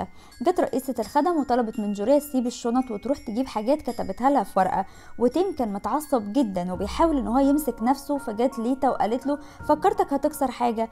قال لها وأنا فكرتك هتكوني غير كده تماما بس انت عاوزة تكوني كسبانة وخلاص. قالت له طبعا لازم أفوز لأني حبيتك بجد. اليوم اللي طلبت مني إن أنا ارتبط فيه كان أحلى يوم في حياتي وإحنا لازم نكون لبعض. أنت مش حاسس باللي أنا حاسة بيه؟ وطبعا هي كانت بتتكلم وهي بتعيط. فقال لها لا مش حاسس. وهنا بقى الشيطان كان لازم يتدخل فقالت له لو مش حاسس بالطريقة دي أخليك تحس بطريقة تانية وقلعت كل هدومها. وجوريا في السوبر ماركت بيجي لها رين وفضلوا يتكلموا عن اللي عملته ليتا. فقال لها انت قلقانة من تيم؟ قالت له لأ أنا واثق فيه جدا. وبعد كده بنشوف تيم وهو بيغطي ليتا وهي بتفضل تعيط وبتضرب فيه وبعد كده بياخدها وبيطلعوا للأوضة وبيتكلموا بجد. وقال لها لازم نكلم أمي علشان نلغي الخطوبة دي. قالت له أنت غبي أنت فاكر مامتك هتوافق على طلب انفصالنا ده؟ إحنا خطوبتنا كانت لمصلحة. عارف حجم الضرر اللي ممكن يحصل لشركتكم ده لو حصل؟ قال لها بس موضوعنا لازم ينتهي. قالت له انت هتعرف تتصرف؟ عشان كده أنا هحاول إن أنا أنهيها بنفسي. خليني أنا اللي أتصرف. قال يا مستنيين إن أنا أحدد ميعاد جوازنا بأقصى سرعة. عشان كده هحدده في أقرب وقت. وتاني يوم بيتجمع ليتا وتيم وأهلها على الفطار. وتيم بعت لجوريا رسالة قال لها ليتا جمعتني بأهلها. وقال لها مش عاوزك إن أنت تقلقي ابدا. وفي الاجتماع أهل ليتا قالوا إنهم جهزوا كل حاجة للفرح. وإنهم عاوزين يحددوا ميعاد قريب جدا. ردت ليتا وفضلت تجر في شكل تيم وقالت أنا عاوزة أنهي الخطوبة دي وفضلت تقول له أنا بكرهك وكانت بتقولها وهي بتبص له. وبعد كده قالت لهم ارجوكوا الغوا الخطوبة دي. وهو افتكر لما قالت له لو سبتك تطلب منهم أنت هيكون خسارة كبيرة جدا لشركتكم. وهي بتطلب من أهلها كانت بتفتكر كل اللحظات اللي عاشتها معاه وكانت بتقول عكس شخصيته تماما. ومجرد ما نهت الكلام فضلت تعيط في حضنهم وتيم كمان كان بيعيط علشانها علشان هي كانت صعبانة عليه. وطلب أبوها من تيم إن هو يلغي الخطوبة وبكده يكون الطرفين كان خسارة ليهم بسيطة. وكان بتكلم زميلها وبيهديها بيها وبتقوله إنها قلقانة على جوريا وبيفضل يهديها وبيتكلم معاها وفي نفس الوقت ده بيدخل كيفن وبيبلغها بخبر انفصال ليتا وتيم وفرحوا جدا بالمناسبة دي وجاي قال لهم بالمناسبة دي خدي إجازة واقفلي المحل النهارده. وكيفن بيقول لها ما تفكريش في حد بعد كده فكري في نفسك وبس وبيدخل علشان يساعدها. وبتيجي واحدة للمحل وبتشوف معاها الورد اللي كيفن علمها إنها تعمله وقالت لها أنا عاوزة أشتريه. فكاننج قالت لها ده مش للبيع. فقالت لها أنا كمان كنت بصنع نفس الشكل ده وفي الوقت ده بيرجع كيفن وبيكون كاننج بتقوله إن الزبونة دي عاجبها شكل الورد اللي صنعه وقالت إنها كانت بتصنع نفس الشكل كمان. وفي الوقت ده كان في نظرات غريبة جدا بين كيفن والبنت اللي كأنهم يعرفوا بعض من فتره فترة والبنت بتعتذر وبتمشي. وليتا كانت بتسجل ذكرياتها مع تيم. وجوريا كانت بتشتغل في البيت وبتسأل زميلتها لو شافت تيم لأنه خرج من بدري. قالت لها لا ما شفتوش. وبيلفت انتباهها إن في قميص في كيس ومتعلق وفي نفس الوقت ده بتيجي رسالة لجوريا من ليتا وبتقول لها بعد ما اكتشفت إنك موجودة في قلب تيم قررت أبعد عنه لأنه لأن أنا اتأكدت إن هو بيحبك أنتي وأنتي تستاهليه لأنك دايما بتفكري في اللي حواليكي لكن أنا ما فكرتش غير في نفسي وقررت أكمل دراستي وحياتي وحياتي تتحسن للأحسن بكتير وأحب نفسي أكتر وما قدرتش أقولك الكلام ده وجها لوجه بس أنا آسفة. بعد كده بنشوف جوريا وهي رايحة بسرعة للمطار علشان تلحق ليتا قبل ما تسافر. ولقيتها مع الاف 4 وقربت بسرعة علشان تحضنها فهوب وقعوا هما الاتنين في الأرض وضحكوا عليهم. وحضنوا بعض وليتا قالت لها يعني أنا ضيعت وقت علشان أصور لك فيديو عشان أسافر من غير ما أشوفك. مش عاوزة أعيط لأني هسيبك. جوريا اعتذرت لها وقالت لها انت من البداية ما عملتيش أي غلط. الغلط كان مني أنا. ليتا قالت لها؟ لأ الغلط كان مني أنا. وفجأة سمع الصوت نداء طيارتها. وحض وحضنوا بعض جامد وسافرت ليتا. جوريا سألت عن تيمس شالها كيفن وقال لها ليه ما تسأليهوش بنفسك؟ فدخلت العربيه ولقيته مربوط ففكت إيده وجت علشان تنزل فمسك إيديها وقال لها استني لحظة. وفضل يلمح لها بالكلام إنها توافق على ارتباطهم. فقالت له أنا فاهماك واديته السلسلة ولبسها لها. وبعد ما لبسها لها قالت له دي إجابتي. فقال لها إجابة إيه؟ مش فاهم. فمسكته من خدوده وقالت له أنا فهمتك. طلبت مننا إننا نرتبط عشان كده اديتك السلسلة يعني أنا موافقة إننا نكون زوجين. فنزل إيدها من على خدوده وقال لها عاوزة أكون لوحدي اخرجي من هنا. رومانسي جدا رومانسي جدا. فنزلت وسألوها أصحابه لو هو طلب منها الارتباط بشكل رسمي فقالت لهم أيوه بس طردني من العربية مش عارفة عاوز يعمل إيه. فضحكوا وعدوا من واحد لتلاتة وحطوا إيديهم على ودنهم وصرخ تيم وقال لقد فعلتها. وفي نفس الوقت ده مامة تيم بتشوف خبر انفصال تيم وليتا. جوريا وأصحابها كانوا مبسوطين جدا إلا كيفن. كان بيفكر في كانينج وهي كمان كانت بتفكر فيه. وبنشوف كده مشهد غريب ما عداش علينا قبل كده وهما مع بعض في العربية وكأن كان في ما بينهم علاقة حب سرية. بدأ يفلت مننا يا جماعة ويبقى زائد 18 دي مش مشكلتي دي مشكلة جوريا أنا مش عارفة مالها اليومين دول بس ليه كده بس كده بس كده بس ليه كده بس كده بس كده بس؟ إيه دي يا حبيبة قلبي؟ جوريا يا جماعة بتحاول تتحمرش بتيم ودي حاجة مش مشكلتي دي مشكلة المخرج. لا خلاص يا جماعة إحنا نحاول إن إحنا نسامح جوريا علشان تيم هو اللي كان بيحلم وجوريا كانت واقفة بتتفرج عليه وعلى حركاته اللي بيعملها وهو نايم دي وبتفضل تضرب فيه وبعد كده بنشوفه تاني يوم وهو مع فريقه كان تعبان جدا ومش قادر يلعب معاهم كرة السلة بسبب ضرب جوريا ليه وطلب منهم يعلموه إزاي يقوي علاقته بيها ويخليها تحبه أكتر ويفضلوا بقى يديله نصايح وأمثلة بلعبهم في الكورة. ورين نصحه يعمل لها حفلة بمناسبة ارتباطهم وتكون الحفلة دي مفاجأة لجوريا. وتاني يوم بنشوف تيم وهو فعلا بيجهز للحفلة ولكن بيخلي جوريا هي اللي تجهز الترتيبات بنفسها بما إنها بتشتغل في بيته طبعا وكده. وصحابه بقى كانوا هيتجننوا منه وبيقولوا بدل ما يفاجئها بالحفلة بيخليها هي اللي ترتب لها. بس كيفن كان مش طبيعي وإم جي قال رين ممكن يكون قابل منى لأنه مش قادر ينساها. وجوريا راحت لمحل الورد وكانت تعبانة جدا بعد تجهيزات الحفلة طبعا وسألت جاي عن كانينج اللي أصلا مش حاسة إنها موجودة ولا حاسة بوجودها من كتر ما هي كانت سرحانه قال لها مش عارف دي حتى مش بتاكل. وراحت جوريا تسألها لو عندها أي مشكلة في البيت أو في حاجة شاغلة بالها. قالت لها أنا بخير بس أنا وكيفن كنا مع بعض. وقرب مني جدا بس لما حس إن أنا خايفة بعد. وقال لي أنا بعمل كل يوم ده مع البنات. وبنصحك إن أنت تبعدي عني. قالت له بس كان ممكن ما تقربش مني من الأساس أو ممكن كنت تخدعني زي زي كل البنات. أو ممكن يكون في دماغك حاجة وعايز تخدع نفسك بيها. أو ممكن تكون خايف تلتزم بعلاقة جدية. أو ممكن أنا مش مناسبة ليك. بس عاوزة أعرف ليه أنت مش قادر تفتح قلبك لحد. قال لها لأني مرة فتحت قلبي لبنت. لو عاوزة تعرفي إيه اللي حصل هحكي لك جوريا قالت لها كملي إيه اللي حصل. فرجعت كانونج في كلامها وقالت لها خلاص انسي الحوار. وإم جي ورين كانوا بيكلموا تيم وبيعاتبوه إزاي يخلي جوريا تجهز للحفلة بنفسها. قال لهم بلاش تبقوا أغبياء. لو جوريا ما سمعتش كلامنا إزاي هتعرف إن أنا بجهز لها حفلة أصلا؟ بتكون أصلا جوريا قاعدة وموجودة قدامه. فأول ما بيشوفها بيتخض وبيجري بسرعة عليها لكن بيلاقيها أصلا مش مركزة معاه. فبيسألها مالك قالت له أنا قلقانة جدا على كانج. متغيرة من يوم ما كيفن قال لها إنه مش قادر يفتح قلبه لحد. قال لها ممكن يكون لسه مش قادر ينسى منى. قالت له مين منى؟ حبيبته القديمة اللي خلته يلعب بمشاعر البنات بالطريقة دي؟ قال لها لا.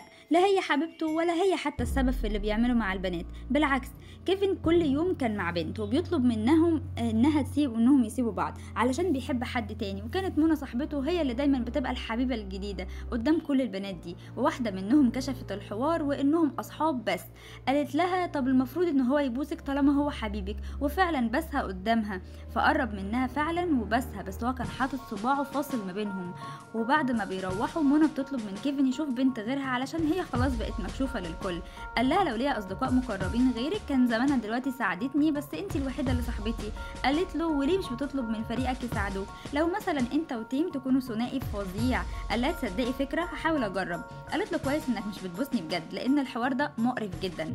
قال لها طب أنا معايا صور ليكي انت وحبيبك وأنتوا بتبوسوا بعض. وبدأوا يضحكوا وحاولت إنها تاخد منه التليفون. وتيم قال لجوريا كيفن اتعلق بمنى جدا. ولما كان بيحصل مشاكل في فريقنا كان بيلجأ لمنى تحلها له. وفي الحقيقة هم هو بس بيحبها بس مش عاوز يكسر القاعدة لأن عنده الصديق يعني صديق. في يوم منى قالت لكيفن إنها مسافرة مع حبيبها رحلة لوحدهم وكان واضح جدا إن كيفن غيران عليها بس مش قادر يتكلم فقال لها بافتكري خدي معاكي مانع حمل. قالت له تقصد إيه بكلامك ده؟ قال لها واحد طلب منك تروحوا رحلة لوحدكم إيه متوقع يحصل يعني؟ قالت له أنا صحيح طلبت رأيك لكن ما قلتلكش تتكلم معايا بالطريقة دي مش من حقك على فكرة. كان لازم تتكلم بأدب أكتر. فقال لها كان لازم أقول إيه يعني؟ ما أنا مهما قلت مش هوقفك. سابها وطلع لبره وراح للبار وفضل يرقص مع البنت وجت منى وراه. ولما حاولت تتكلم معاه البنت اللي مع كيفن اتخانقت مع منى ولكن كيفن خلصهم. قالت له مالك؟ انت ليه اتكلمت معايا بالطريقة دي ومشيت؟ أنا حاسة إن جواك حاجة عاوز تقولها. قال لها مش عاوز أقول حاجة. قالت له وأنا إزاي هفهمك لو أنت ما اتكلمتش وفضلت ساكت بالطريقة دي؟ فقال لها مفيش داعي إن أنت تفهمي. تخيلي لو في حاجة تقوليها بس الحاجة دي هتخلي الأمور للأسوأ. زقته وقالت له أنت كده اللي بتخلي الأمور أسوأ. هو معقول يكون في حاجة تخلي صداقتنا تخلص بالشكل ده؟ قال لها أيوه. وأنا مش عاوز أكون صديقك تاني. وخد البنت اللي معاه علشان يمشي لكن منى حاولت توقفه تاني علشان تفهم هو إيه اللي مخليه بالشكل ده. لكنه زقها فوقعت في الأرض والكاميرا بتاعتها اتكسرت.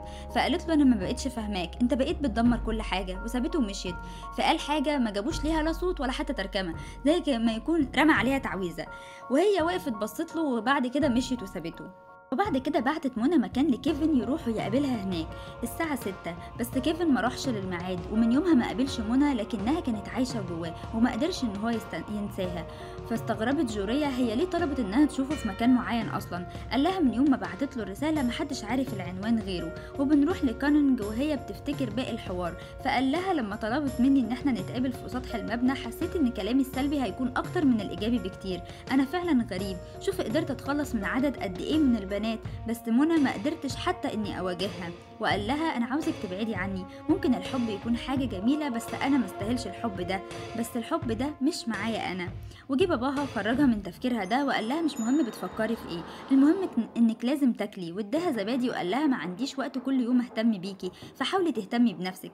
وهي بتاكلها جه على وشها زبادي. وافتكرت لما حصل نفس الموقف وهي مع كيفن. وقررت تروح لنفس العنوان. راحت للعنوان بناء على وصف كيفن للمكان. لكنها ما كانتش راحت فعلا وما تعرفش إيه العنوان تحديدا وجاي بيتصل بجوريا ويسألها عن كونينج وبيقول لها إنها حتى مش بترد على المكالمات ولا جت للشغل. قالت له هحاول أوصل لها وبعتت لها رسالة. وبيجي إم جي يغمي ليها عينيها وبياخدها لمكان الحفلة وبيفاجئوها بحفلة ارتباطها هي وتيم. وطلع وطلعوا إم جي ورين وسابوهم لوحدهم. بس جوريا ما كانتش مع تيم خالص كانت مركزة أكتر مع كونينج وقلقانة جدا عليها. وجه تيم يخرجها من ال mood اللي هي فيه وقال لها عارف إنك قلقانة على كونينج بس عاوزك تروقي. واداها بيبسي وشربت. وكان الوضع هادي وفي التمام وقال لها شايفة صندوق الهدايا ده دي المفاجأة الأولى وروحي افتحيها. وإم جي كان بيصور اللي بيحصل وأول ما فتحت الصندوق هوب جات لها رسالة من كانج ضيعت عليها اللحظة وبتلف بسرعة وبتقول له كانج ردت عليا. فخدها تيم بسرعة علشان يوريها المفاجأة التانية طالما الأولى باظت. وأول ما بدأ المفاجأة التانية جالها مكالمة من كانج وحتى المفاجأة التانية راحت عليها. وطبعا الوضع بيكون فوضى جدا. وكانج بتقول لها أنا عندي مشكلة فبتجري جوريا ووراها بيروح تيم علشان يوريها المفاجأة التالتة. فبتزقه فبيقع في البسين. والحزين في الموضوع إنها ما شافتش اسمها وهو طاير في السماء. يا ريتني كنت أنا يا جوريا وصلت جوريا للمبنى اللي فيه كونينج وشافت الأمن ماسكينها وإدارة المكان رافضين يطلعوها غير لما الشرطه تيجي عشان هي حاولت تطلع للسطح من غير إذن. وبيوصل تيم وهو مبلول. وقال لها أظن مفيش داعي للشرطة. جوريا قالت له أنت جيت هنا إزاي؟ هيبلغوا عننا كلنا. قال لها يبلغوا عني في فندقي. وبنفهم إن هو الفندق ده ملك لعيلته. وكاننج بتطلب منه إنها تطلع للسطح فبيقولوا للمديرة تهتم بيها. وجوريا سألتها ليه عاوزة تطلعي للسطح؟ قالت لها صعب أشرح لك دلوقتي. قالت لها طب خليني أجي معاكي. كانج قالت لها لازم أكون لوحدي ولو عاوزة تساعديني فعلا كفاية إنك تفهميني وبس. مسكها تيم وقال لها وقفي قلقك على غيرك وفكري في نفسك وبس. ونشف شعره وطلب يحضروا له أوضة. وقال لها لازم نتكلم. فقالت له أنت ليه متضايق؟ فقال لها بوظتي الحفلة وكمان عشان بتتدخلي في أمور كانينج قالت له إزاي ما اتدخلش قال لها اهتمي بيا وسيبيها لمهمتها. وأكيد في حاجة تخص كيفن في الموضوع. وممكن عاوزة تفهم حوار منى. قالت له يعني معقولة الحوار كبير قوي مع كيفن للدرجة دي. قال لها ممكن تشوفي كيفن طبيعي بس هو من جواه مش قادر ينسى الماضي ولا منى. وخد باله إن جوريا جعانة وافتكر نصايح صحابه إنه لازم يهتم بتفاصيلها. وجاب لها لبن وقرب وسألها لو لسه متوترة. قالت له بالي مشغول بيها. قال لها هسيب حد من الحراس قريب منها ويساعدها لو احتاجت لحاجة. وسألته عن كيفن وقال لها أنا كمان قلقان عليه. وكيفن بيطلع من البسين بيلاقي منى قدامه في الحقيقة وطلعت معاه. وكانت بتصوره وبتقول له إنها مستغربة جدا إن كل حاجة في البيت لسه زي ما هي ما اتغيرتش. قال لها كل شيء وكل تفاصيله بتفضل على حالها. إلا لو انت اللي قررتي تغيريها. هو انت في حاجة معاكي اتغيرت؟ قالت له البنت اللي كانت معاك في محل الورد لطيفة جدا. قال لها إيه اللي فكرك بيها دلوقتي؟ قالت له وصلني خبر إن في حد طلع للسطح. ولما فتحت الكاميرات عرفت إن اللي موجود هناك هي نفس البنت. قال لها يعني معنى كده انك جيتي بسببها. قالت له أنا معرفش هي مين ولا عايزة تعمل إيه بس هي لوحدها في السطح وده خطر. فقال لها تمام هتصرف. وآسف إن فكرتك بذكرياتك الوحشة. قالت له ذكرياتي معاك كلها كانت حلوة. ما كانش عندي ولا أي ذكريات معاك وحشة. وبعد كده قالت له لازم أمشي. وشاف في إيديها خاتم وده معناه إنها اتجوزت. وشافها من الشباك وهي ماشية وكان مقهور جدا عليها. فاتصل بكاننج بس التليفون كان بعيد عنها. ولما قربت وشافت التليفون كان خلاص الرنة خلصت وبدأ يبعت لها رسائل وقال لها ما تورطيش نفسك بسببي. لكن كاننج كانت بتطلع من كل الأماكن وبتدخل في أماكن تانية اللي هي مسجلاها على أساس توصل للمكان اللي كان موجود في المقابلة. بتفهم إن المكان المحدد مربوط بميعاد الساعة 6 الصبح وقت شروق الشمس. وكان وصلت أخيرا للمبنى بعد تعب كبير. وبعتت رسالة لكيفن وقالت له لقيت المبنى. وبعتت له اللوكيشن وطلبت منه يقابلها تاني يوم في نفس المكان ونفس الميعاد. لكنه بيحاول يسيب نفسه للشرب وللبنات. ولكنه طول الوقت بيفتكر رسائل كاننج والبنت اللي معاه قالت له إن في واحد بيتجسس عليه طول الوقت وطبعا بيكون تيم بذكائه. كيفن قال له أنت وكاننج زهقتوني عاوزيني أروح للسطح بأي طريقة. من وقت ما كاننج عرفت العنوان وأنا حياتي في فوضى وده حوار قديم ومفيش فايدة منه. قال له انت اللي هتختار لو في فايدة ولا لأ. لكن بالنسبة لبنت حاولت بكل قوتها علشان توصل لحاجة غامضة ممكن تكون مفيدة ليك فما تسيبهاش تستناك. قال له على العموم إذا كنت هتروح ولا لأ فما تكررش الغلط مرتين ووقتها هتقدر تاخد القرار. فكمل سهرته عادي لكن كاننج كانت شاغلة باله وعمال يفكر فيها وفي أيامهم سوا. وطلع جري لبره وشاف تيم واقف مستنيه وخده وراح للمبنى ولقى جوريا وكاننج مستنيينه. قالت له أنا لقيت المكان اللي, من... اللي منى طلبت تقابلك فيه. وخدته وطلعت بسرعة. قال لها إيه المكان ده؟ قالت له مشاعرك وصلت لمنى. وبتفتكر لما كان بيقول حاجة وما كانش ليها صوت ولا ترجمة اللي قلنا عليها تعويذة دي وكان بيقول لها أنا معجب بيكي. فقالت له منى كانت عاوزة تقولك وبدأ شروق الشمس يطلع والضوء يعكس الاسم اللي مكتوب على اليافطة فيكتب اسم كيفن. والله الحلقة دي فرهضة على الفاضي. أمال لو بيعكس كلمة بحبك كان عملوا فينا إيه؟ قالت له أنت قلت إنك عامل زي ضوء الصبح ما تتحبش لكن دي مش حقيقة. يعني يا كيفن بالله عليك يا حبيبي لو أنت ما تتحبش مين يسطا اللي يتحب؟ وفضل كيفن بقى سرحان في ذكرياته الكتيرة قوي مع منى. وجاء إم جي وصحى اللي كانوا ناموا على نفسهم علشان تعبوا ومطبقين يشوفوا اللغز اللي كانت منى عاملاه لنا ده. كان نفسه يكون في حفلة بس كلهم كانوا مفرهدين جدا وكانوا تعبانين. وقرروا يمشوا كلهم ويسيبوا جوريا وتيم مع بعض في شوية خصوصية كده. جوريا قالت له يلا اطلع نام في أوضتك. قال لها لا هنام على رجلك هنا. فضلت تصرخ علشان حد يساعدها إنها تتخلص منه لكن محدش عبرها. وكيفن وكاننج شكرها جدا لإنها وصلت وصلته للمرحلة دي وقالت له اتوقعت إن أنت ما تجيش. قال لها أنا ما جيتش عشان منى بصراحة. قالت له أمال جيت عشان مين؟ قال لها مش هقولك. وفضلت تتحايل عليه يقول لها بس هو رفض يقول. ورين كان واقف يتفرج عليهم وبعد كده لسه كان خلاص هيمشي لقى عربيات كتيرة خارجة من الفيلا. جوريا كانت لسه مع تيم وفضلت تقول له أنت كنت هادي جدا ولطيف جدا النهارده وكنت أنت النهارده اللي بتدي نصايح وده فاجئني جدا. قال لها لو فضلتي معايا أوعدك إنك هتشوفي مني مفاجآت أكتر من كده بكتير. قالت له زي الحفلة كده قال لها أنا عمري ما عملت كده لحد. قالت له أنا كمان عندي مفاجأة ليك. وراحت مقربة بسرعة وبيساه. هو بقى يسكت؟ ابدا. المفاجأة عجبته موت وقال لها لا لازم نعيدها تاني. أنا ما كنتش مستعد ولازم نعيدها تاني. والخدم كانوا واقفين يتفرجوا. وتيم عمال يتحايل عليها إن هو يعيد البوسة دي من تاني. وهي وافقت. وبس هتيم بس ليه كده؟ بس كده بس كده بس. ليه كده؟ بس كده بس كده بس. ما علينا. ملناش في الحوارات دي. رجعت جوريا لبيتها وشافت رين واقف قدام البيت وبيحاول ياخدها لمكان تاني لكن هي بتجري على بيتها وبتشوف في إيه. وفي الوقت ده مامة تيم كانت راجعة من السفر وأمرت رجالتها بإنهم يكسروا كل حاجة في بيت جوريا رئيسة الخدم رايحة بسرعة تصحي تيم وقالت له إن في حاجة مش كويسة حصلت.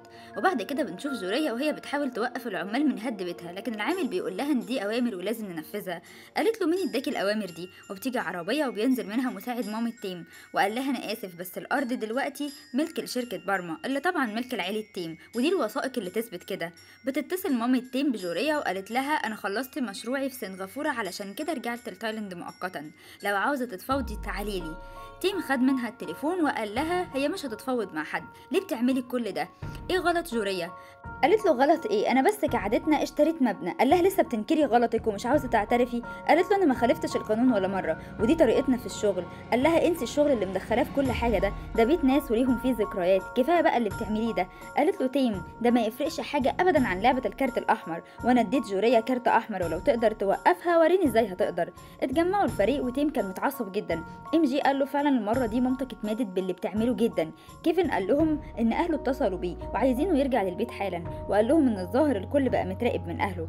ام جي قال له أنت ليه مش مع جوريا دلوقتي؟ قال له طلبت اكون معاها لكن هي رفضت وكانت عاوزة تبقى لوحدها. رين قال له أكيد مش عاوز تضايقك بس الشخص الوحيد اللي يقدر يخرجها من اللي هي فيه هو أنت وإحنا جاهزين نساعدك في أي حاجة. جوريا كانت مع جاي وكانج وكانوا زعلانين جدا من اللي حصل لها والحاجة الوحيدة اللي قدرت جوريا تاخدها بره البيت كانت الدبدوب اللي جابوا لها تيم هدية. وجاي قال لها أنت عارفة إنك بتحاربي واحدة قوية جدا. قالت له مهما كانت قوية مش هسمح لها إنها تكسبني. جاي قال لها طب تعالي معايا. وخدها الأوضة في المحل وقال لها مش بستعملها ما تشيليش هم للإيجار أنا هدفعه. وعايزك تعتبريني فرد من عيلتك. وفجأة بيدخل ال F4 ومعاهم حاجات جديدة للبيت. وجت جوريا تتكلم تيم قال لها اسكتي مش هسمح لك تكوني عنيدة المرة دي. أنا فكرت كتير وإحنا هنكون جيشك. وهي بتوافق إن هم يساعدوها. بدأوا يرتبوا لها في الأوضة وبقت حلوة جدا. وخدوا كمان صور للذكرى. وبنشوف تيم وجوريا وهما بينشروا الغسيل على السطح. وتيم قال لها إنه مش هيرجع لبيته تاني وهيفضل عند رين. قالت له معقولة يجي يوم ومامتك توافق على ارتباطنا؟ قال لها مش عارف. بس بما إننا مع بعض خلينا نشوف مين هيستسلم أنا ولا أمي. جوريا شكرته على وقوفه جنبها وقالت له إن اليأس كان اتملك منها ولكن وجوده جنبها قواها. قال لها معنى كده إنه هيزيد أكتر قوة لو أنا قربت منك. فضحكت وقالت له تقصد إيه؟ وقرب عليها أكتر وكان خلاص هيبوسها ولكن صحابهم كانوا بيراقبوهم وبوظوا عليهم اللحظة. وجري تيم وراهم.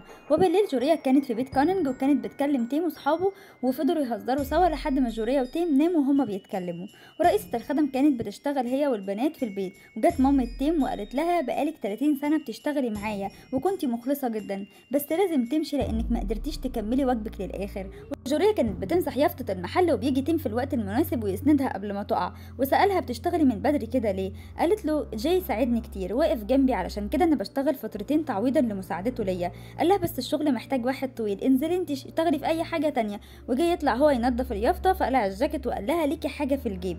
ولما بصت لقيتها إزازة عصير ومعاها ورقة مكتوب فيها اعتني بنفسك حبيبك تيم قالت له المرة دي كاتب صح علشان هو فاشل في الاملا وبيكتب كل حاجة غلط. دخلت جوريا للمحل وجاي لتيم اتصال من رئيسة الخدم وقالت له مامتك طردتني من البيت وأنا لازم أشوفك لكن في حاجة مهمة لازم أقولك عليها. رجع رين لبيته لقى تيم شكله حزين جدا. وسأله عن السبب قال له قابلت رئيسة الخدم بعد ما مامتي طردتها. رين قال له هي عملت كده علشان عارفة أهميتها في حياتكم. جه كيفن وقال لجوريا إن كل الحسابات تيم في البنك اتوقفت. وفجأة بيسمعوا صوته بيكون جاي بيصرخ والحراس بيكسروا له في المحل. وفي نفس الوقت ده بيجي اتصال لكاننج إنهم فصلوا أبوها من الشغل كمان. وجوريا طبعا بتتصدم وتيم كان بينهار لكن بيفتكر رئيسة الخدم وهي بتقول له أوعى تتردد اللي هتعمله أمك هيأذيك أنت وجوريا. لكن ما ترجعش أبدا لورا. وبنشوف بعد كده إن حتى محل الورد انكتب عليه إنه مملوك لشركة بارما تبع عيلة تيم. جريت جوريا لحد ما راحت لبيت تيم. ومامته قالت لها جيتي أسرع ما أنا توقعت. جوريا قالت لها طول الطريق وأنا بفكر إزاي أغلبك بس الصراحة أنت ذكية ومستحيل أغلبك. قالت لها معنى كده إن في كلام تاني في بالك. جوريا قالت لها أيوه أنا خدت قرار أخرج من حياه تيم مقابل إنك تصلحي كل حاجة في حياة الناس اللي بحبها وحتى لو أنا خسرت المهم تيم يفوز. من كلامك وطريقة تيم فكرت إن تيم هياخد كل اللي هو عاوزه من غير ما يتعب بس تيم اتغير وقابل ناس كتير غير اللي كان يعرفها وبقى شخص طيب جدا وخسر حاجات كتير وبقى بيكره الأنانية وبيكره طريقة شغلك. يعني تيم عمره ما هيكون الشخص اللي انت عاوزاه. حتى لو ما قدرناش إننا نكمل سوا تيم مش هيحبك. مامة تيم كان شكلها مصدوم بس بعد كده قالت لها أنا ما اتفاجئتش بكلامك. أنا فاهمة كويس الدنيا إزاي بتدور حواليكي وفاهمة برضو إزاي قدرتي تغيري تيم وأنا كنت عاوزة أوصل للنقطة دي. قالت لها مش فاهماكي. قالت لها قبل ما أشوفك دلوقتي كنت عاوزة أقولك إني هعوض لك كل حاجة وإني أسفة على كل حاجة حصلت. لكن لو ما كنتش قابلتك دلوقتي ما كنتش قدرت أتكلم معاكي. قالت لها برضو مش فاهمة. قالت لها في حاجة مهمة لازم أحكي لك عليها هتأثر على حياة تيم بشكل مباشر. وخرجت جوريا وكأنها مصدومة وشافت تليفونها وتيم رانن عليها كتير جدا. وكيفن كان بيحاول يهدي تيم وقال له إن بنت قوية زي جوريا أكيد هتكون بخير. واتصلت جوريا بتيم وسألها وهو قلقان عليها لو مامته قالت لها أي حاجة تزعلها. قالت له ما عملتش أي حاجة بس عاوزة أشوفك دلوقتي. واستنته عند الساعة اللي قابلته عندها لأول مرة. جه تيم وقال لها ليه طلبت نتقابل هنا؟ وكمان شكلك متغير جدا. احكي لي اللي حصل. قالت له باختصار رحت أقابل مامتك عشان أقول لها قد إيه أنت متضايق من تصرفاتها. وهي فهمت ومش هتضايقنا تاني. فشدها عليه وحضنها وقال لها شكلك تعبانة جدا. اوعي تعملي أي حاجة لوحدك تاني. قالت له تعالى نتمشى شوية قبل فوات الأوان. وخدها وقضوا يوم جميل سوا. وحتى الدبدوب اللي كان تيم بيغير منه فضلوا يلعبوا معاه ويتصوروا معاه. وفضلوا سوا لحد بالليل. وسألته جوريا لو في يوم فكر في مستقبله. قال لها فكرت كتير في مستقبلي إني همسك إدارة مجموعة برما وإنتي هتكوني معايا. بس مش هعمل زي أمي. افتكرت جوريا كلام مامة تيم وهي بتقول لها في المستقبل إزاي هيدخل تيم في, ع... في أعمال المجموعة. وفي منافسين كبار هيشوفوه مجرد طفل. ولو فضل كده هيتدمر والحوار مجرد وقت لحد ما يقدر تيم يدير أموره. بعد كلام كتير بين جوريا ومامة تيم وريتها ملفات وقالت لها بعتقد فهمتي قصدي دلوقتي. وبدأ المطر ينزل على تيم وجوريا وجري تيم وقال لها تعالي نروح نستخبى في مكان. بس جوريا فضلت واقفة مكانها وقالت له في حاجة لازم أقول لك عليها إحنا لازم ننفصل. قال لها بسبب أمي صح؟ قالت له لأ. قال لها مستحيل تكوني جوريا معقول قدرت أمي تسيطر عليكي؟ عرفيني عملت لك إيه المرة دي. قالت له هي ادتني ورقة فصرخ تيم وقال لها ورقة إيه؟ قالت له شيك بمبلغ كبير لكن الحقيقة بتكون الأوراق اللي اديتها لها مامة تيم إشاعات وتحاليل بتثبت إن مامة تيم عندها cancer. وقالت لها لو تيم فضل على وضعه ده هيتدمر كل حياته. هتتدمر البيت والعيلة والشغل كل حاجة هتتدمر. والطريقة الوحيدة اللي نقدر نتفادى ده قبل الضياع اننا نخليه يكبر بشكل أسرع. لو تيم رجع زي الأول هنقدر ننقذ المجموعة. وتيم هيقدر يعيش والشخص الوحيد اللي هيقدر يعمل التغيير ده هو أنتي. أنا عارفة إن ده طلب كبير وإني ماليش حق أطلبه لكن أنا بطلب منك كأم حياتها بدأت تنتهي وفضلت تترجاها وهي بتعيط إنها تقسى عليه علشان يرجع تيم القديم لأنها مش عاوزة الكل يكون باصص عليه كطفل وأحلامه صغيرة وحضنت جوريا وفضلوا هما الاتنين يعيطوا. بس مش عارفة ليه أنا مش مرتاحة لمامة تيم ومش قادرة أصدقها خالص بس هنشوف في آخر الحلقة. ونرجع لتيم وجوريا. وتيم بيقول لها بمقابل شيك وافقت إن انت تتخلي عني هو انت مفكراني غبي؟ قول قولي لي الحقيقة وأنا هصلح كل حاجة. قالت له دي الحقيقة. مامتك دفعت لي عشان أنهي العلاقة دي. وأنت عارف حياتي ماشية إزاي؟ وأنت عارف برضو إن قد إيه حياتي هتتغير لما أكون غنية. قال لها بطلي كدب يا جوريا. دي مش جوريا اللي بتكلمني. جوريا اللي أنا أعرفها عمرها ما تقبل تاخد سنت واحد بمقابل أي حاجة قدمتها مامتي. الحوار ملوش أي علاقة بالفلوس ابدا. قالت له فعلا ملوش علاقة بالفلوس. لكن ليه علاقة بنظراتك الوردية اللي انت باصصها للحياة وشايف ان الحياة كلها بشكل بسيط؟ فاكر انك باصص لجوريا على حقيقتها؟ إحنا من أول ما اتقابلنا كنت عاوزاك تاخد بالك مني لأني عارفة انك غني وغبي. صرخ فيها وقال لها بطلي كلام عايزة تقولي إن كل اللي حصل ده مجرد كذب؟ إزاي ممكن كل ده يكون كذب؟ قالت له أنت شايف إن الأمر إزاي كان صعب؟ إيه اللي هيجبرني إن أنا أعيش في الضغط ده؟ أنا كنت بتظاهر إني بحبك عشان كده سبت بيتي وقلت أجبر نفسي إني أكون معاك أنا وأنت نكون مع بعض في بيت واحد. وقلت حتى لو أنت لو أنا وأنت بقينا مع بعض مش هيكون المبلغ كافي فقلت كل ما أخسر أكتر كل ما المبلغ, بقى أكبر. وأخيرا نجحت خطتي وهخرج من الجحيم اللي أنا كنت فيه ده. فقرب عليها وفضل يتحايل عليها تقول له الحقيقة وإنها بتكذب. قالت له دي الحقيقة يا تيم اتعصب أكتر وقال لها إزاي قدرتي تخسري كل حاجة عشان الفلوس؟ قولي لي دفعت لي كام عشان تسيبيني؟ فزقته بعيد عنها وقالت له كفاية بقى أنا قرفت منك. فضل يضرب في نفسه علشان يفوق لو بيحلم. وقال لها مستحيل ده يكون حقيقي.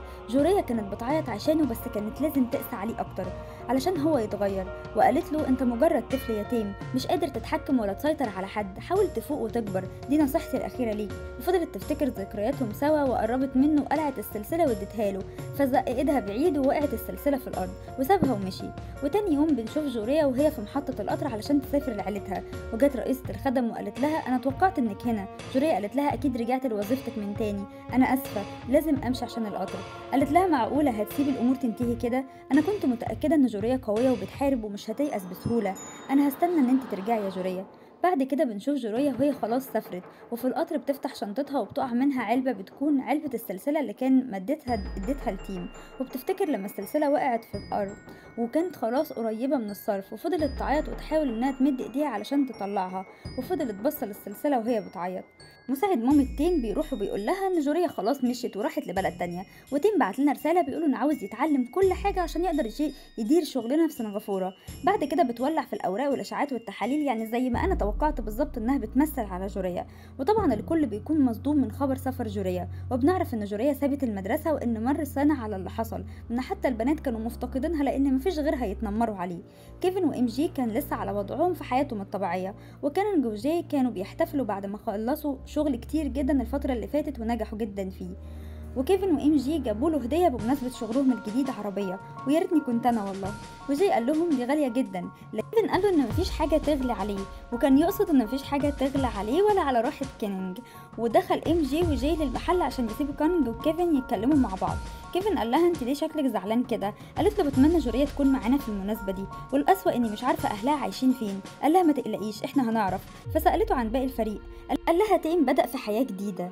ورين أكيد في حياة مستقلة بس في الحقيقة رين بيدور على جوريا ورين شاف بالصدفة خبر إن تيم مسك منصب الرئيس التنفيذي وكان تيم في اجتماع وبسبب ضعف رصيد الشركة قرر فصل كل الموظفين وتغييرهم ومبقاش يهتم لآراء أي حد خالص. وأخيرا مامته كانت شايفة إن هو ده تيم اللي هي عاوزاه. وأخته جت لمكتبه وقالت له أنت اتمديت جدا المرة دي بسبب غلطة صغيرة من الموظفين قررت تتخلى عنهم كلهم على الرغم إن بقالهم فترة كبيرة معانا. قال لها الموظفين ما بقوش بيحققوا أهداف الشركة عشان كده ما بقوش يلزموني. قالت أنت بقيت أسوأ من أمي. أنا كنت حبيتك أكتر لما كنت مع جوريا. الكل بيدور عليها بس معرفش أنت ليه بتتجاهل الموضوع. صرخ فيها وخبط على المكتب وقال لها كفاية. جت مامتها وقالت لها ما تتكلميش عن الماضي من غير فايدة. وقالت لتيم استعد علشان هنعمل اجتماع مع شركة جديدة فيها مهمة كبيرة ليك. ام جي بيرن على رين وبيقول له إن أنت لسه بتدور على جوريا حاول ترتاح شوية. قال له ما تقلقش أنا هكون بخير. ام جي قال له جوريا اختفت بإرادتها. لو كانت عاوزانا نعرف مكانها كانت عملت كده لكن هي عاوزاه تختفي للأبد. رين قال له عشان كده أنا بدور عليها. بعد ما خلص المكالمه شاف خبر على التلفزيون عن أزمة اقتصادية للمزارعين في مكان معين. وتيم في اجتماع تاني قرر يلغي شراكته مع شركة معينة. ودخلوا في خلافات كبيرة جدا خلال الاجتماع. وتعصب عليهم مدير الشركة وقال لتيم هشتكي عليك.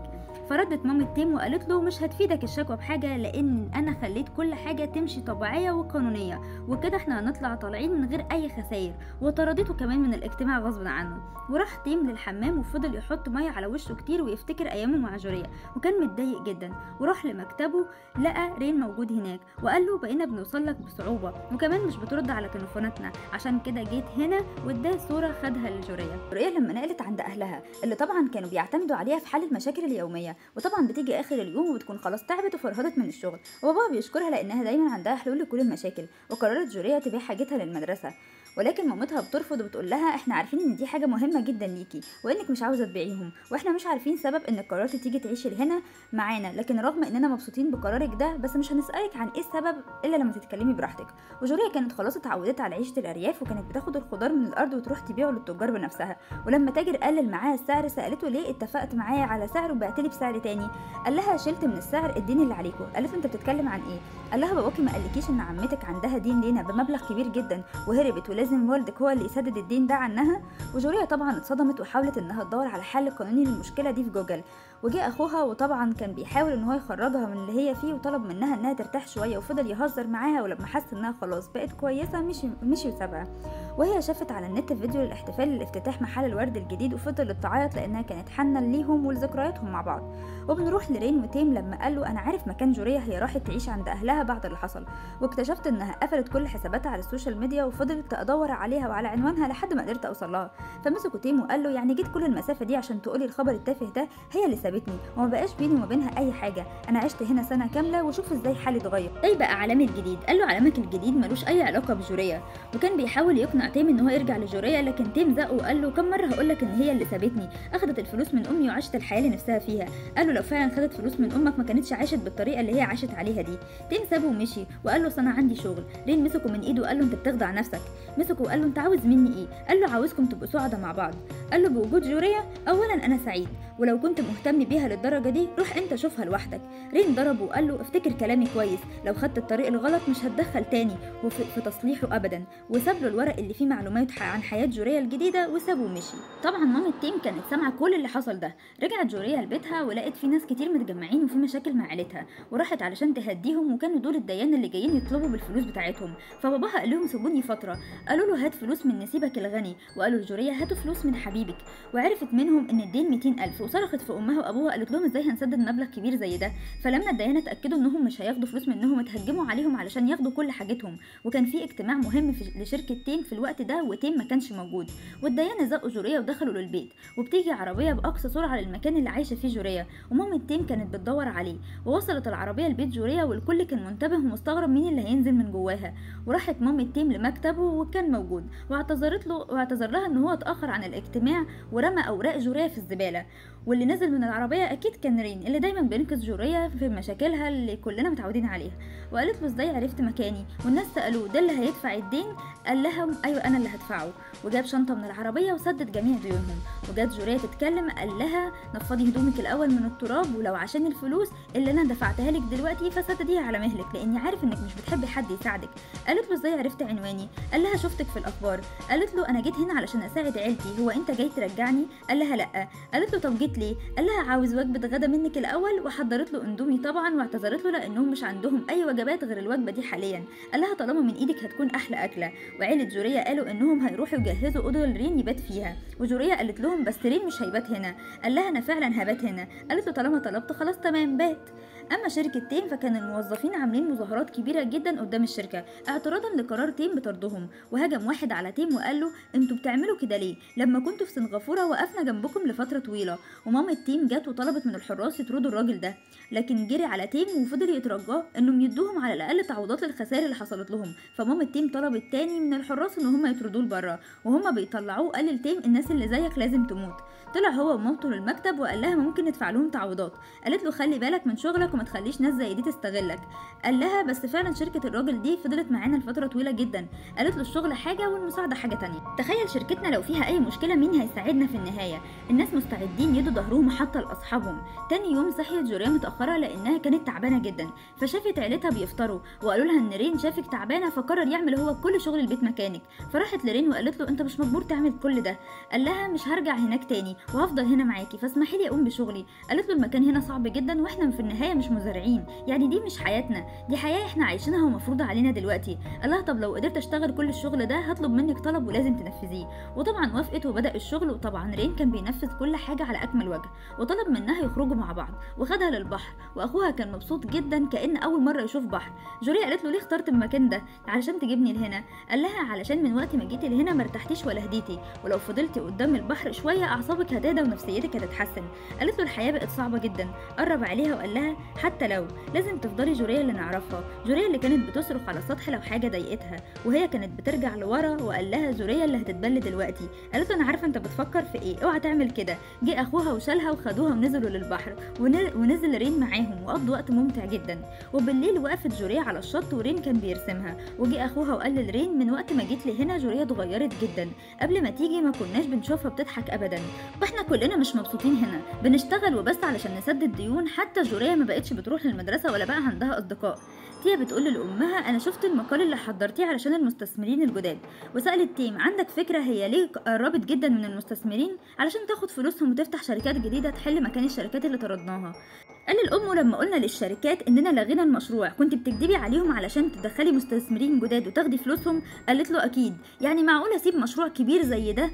وقالت لبنتها وفين المشكلة في الموضوع؟ إحنا لازم نتخلص من أي أشخاص ضعيفة والأهم من كل ده إن خدتي فلوسهم ولو الأمور مشيت كويس شركتنا هتكون أكبر شركة. تيا قالت. لتيم اوعى تكمل في المشروع ده فأمه قالت له أنا علمتك بنفسي ودي أفضل طريقة لشغلنا. وقالت لتيا بطلي تحلمي أحلامك الوردية وسيبي تيم يشتغل. وقالت لتيم محتاجين توقعاتك هنا علشان المشروع يمشي صح زي ما أنا عاوزة. بمجرد ما تاخد خطوة زي دي هتكون من كبار المستثمرين وهتكون قادر تاخد أي قرار. جوريا صحيت نص الليل وشافت رين مش موجود في مكانه وشافت إنه رسم لها رسمة لما كانوا على البحر. ورين اتصل بيها وقال لها أنا في السوق تعالي لي. قالت له في وقت زي ده؟ قال لها أيوه أنا أخدت قرار جديد ولازم ت... ولازم أقول لك عليه.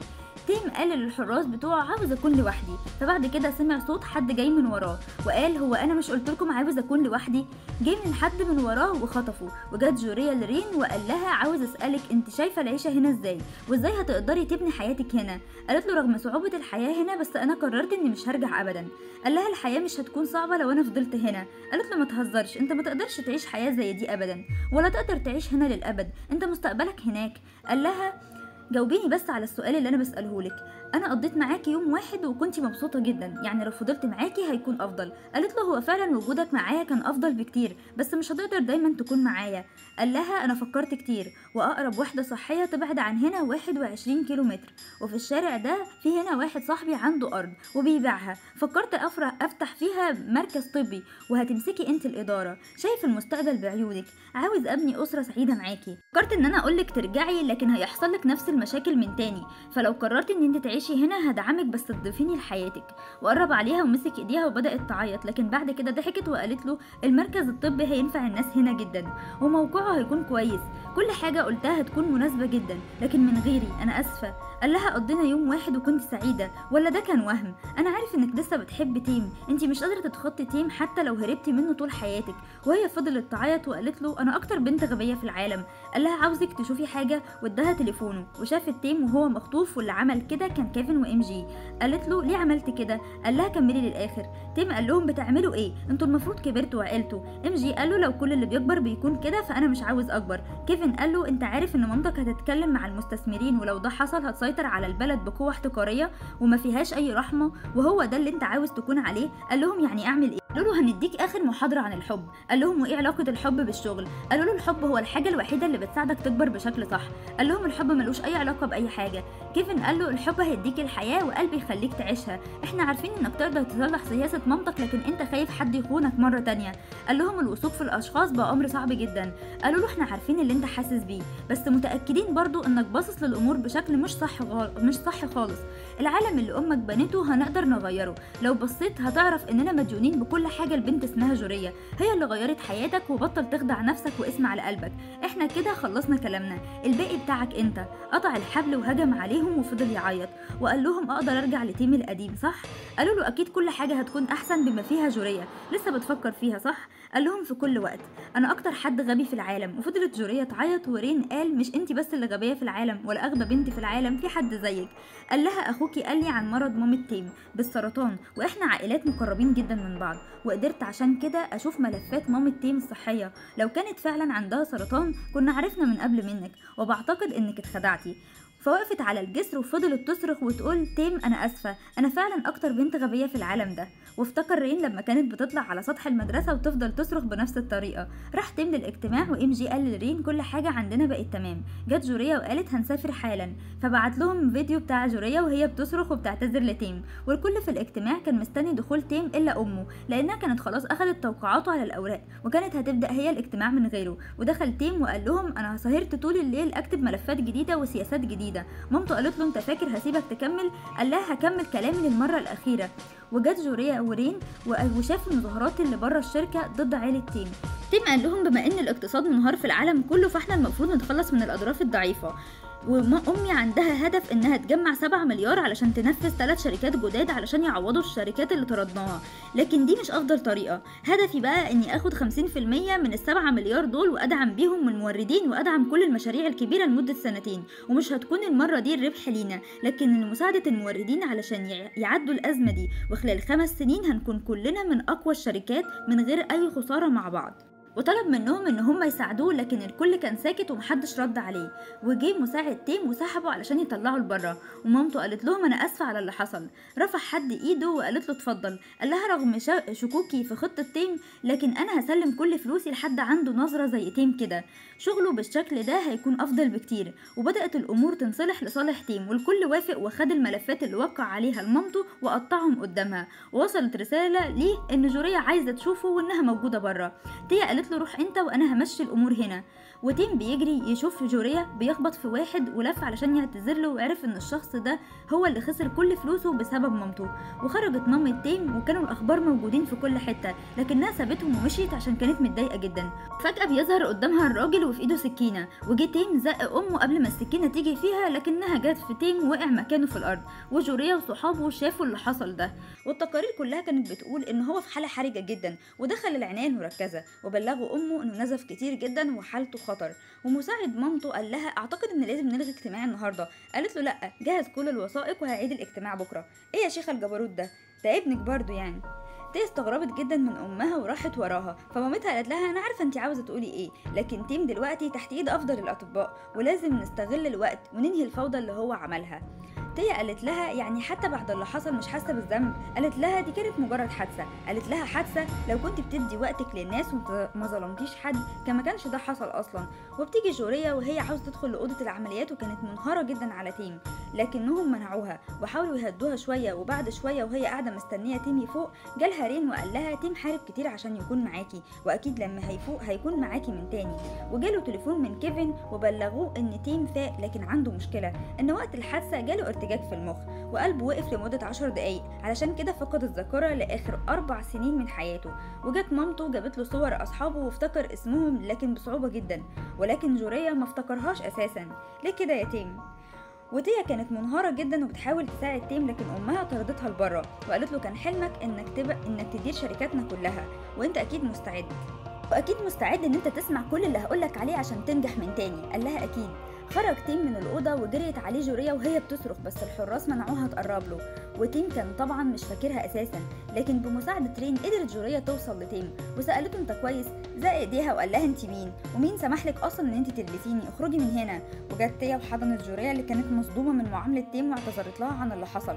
وقالت لها إن تيم فقد الذاكرة لآخر أربع سنين. تيم استغلت الفرصة وطلبت وقف علاج تيم وخرجوه كمان من المستشفى. وهي فكرته بكل حاجة إلا أنت يا جوريا وكلهم راحوا البيت لبيت جاي وكانوا زعلانين جدا على اللي حصل وقالوا إنهم لازم يساعدوه يفتكر أي حاجة منها. وكيفن قال لهم ولسه الأسوأ من كده إن ممكن تيم يرجع زي الأول. وجاي قال لهم طب اتكلموا معاه ممكن يسمع منكم. إم جي قال له مامته عارفة نوايانا عشان كده هتمنع إن أي حد مننا يوصل له وهيفضل متراقب طول الوقت. ومامته أمرتهم يتخلصوا من كل حاجة محتفظ بيها تخص جوريا وحذفت كل بياناتها من الكمبيوتر والتليفون وحتى رئيسة الخدم منعتها من الوصول ليه. وجاي كان زعلان جدا على جوريا وك... وعلى اللي بيحصل لها ده. وقفت جوريا في البلكونة وفضلت تصرخ وتقول يا غبي إزاي قدرت تنساني؟ وشدتها كاننج ودخلتها لجوه.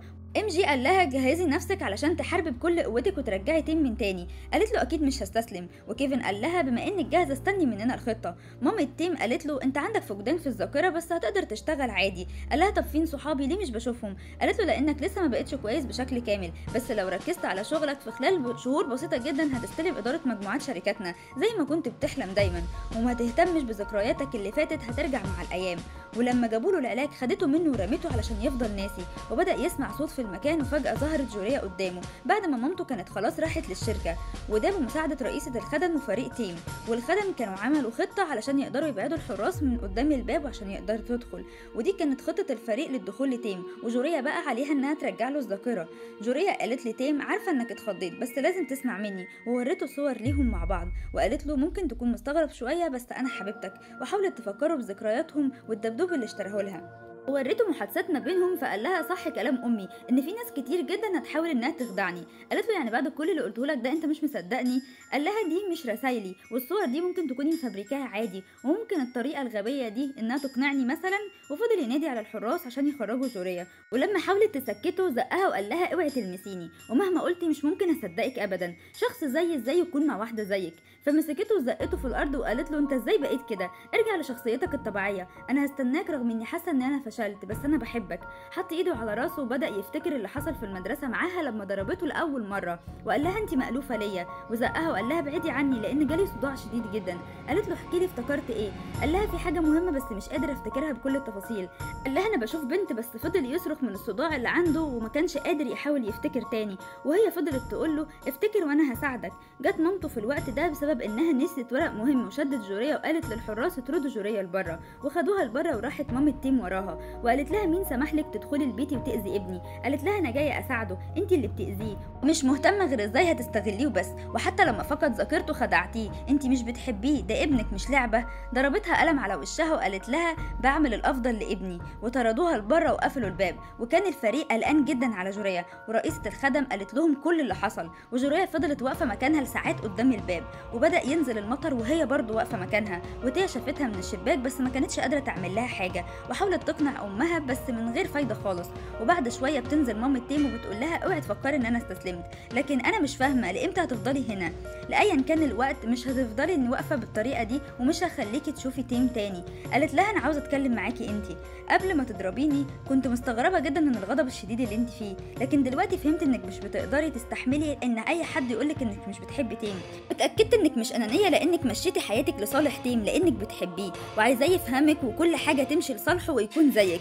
قالت لها كويس إن أنت فهمتي. قالت لها بس عمرك فكرتي إيه بيسعد تيم فافتكرت كلام تيا لما قالت لها جوريا واقفة تحارب بكل قوتها عشان تيم. افتحي لها قلبك وسيبيهم يعيشوا بالطريقة اللي هم المفروض يعيشوا عليها ويكونوا سعداء مع بعض.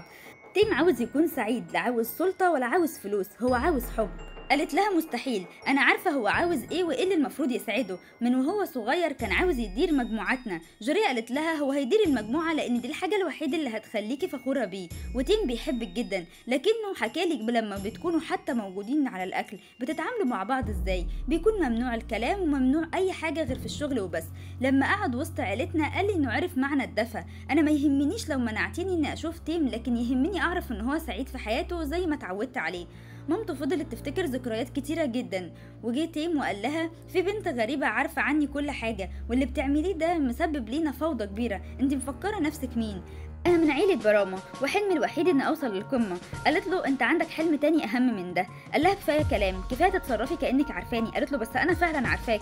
قال لها كل اللي يعرفني مش بيتجرأ يرد عليا أصلا لأنهم عارفين أنا بكون إزاي لما بكون متضايق.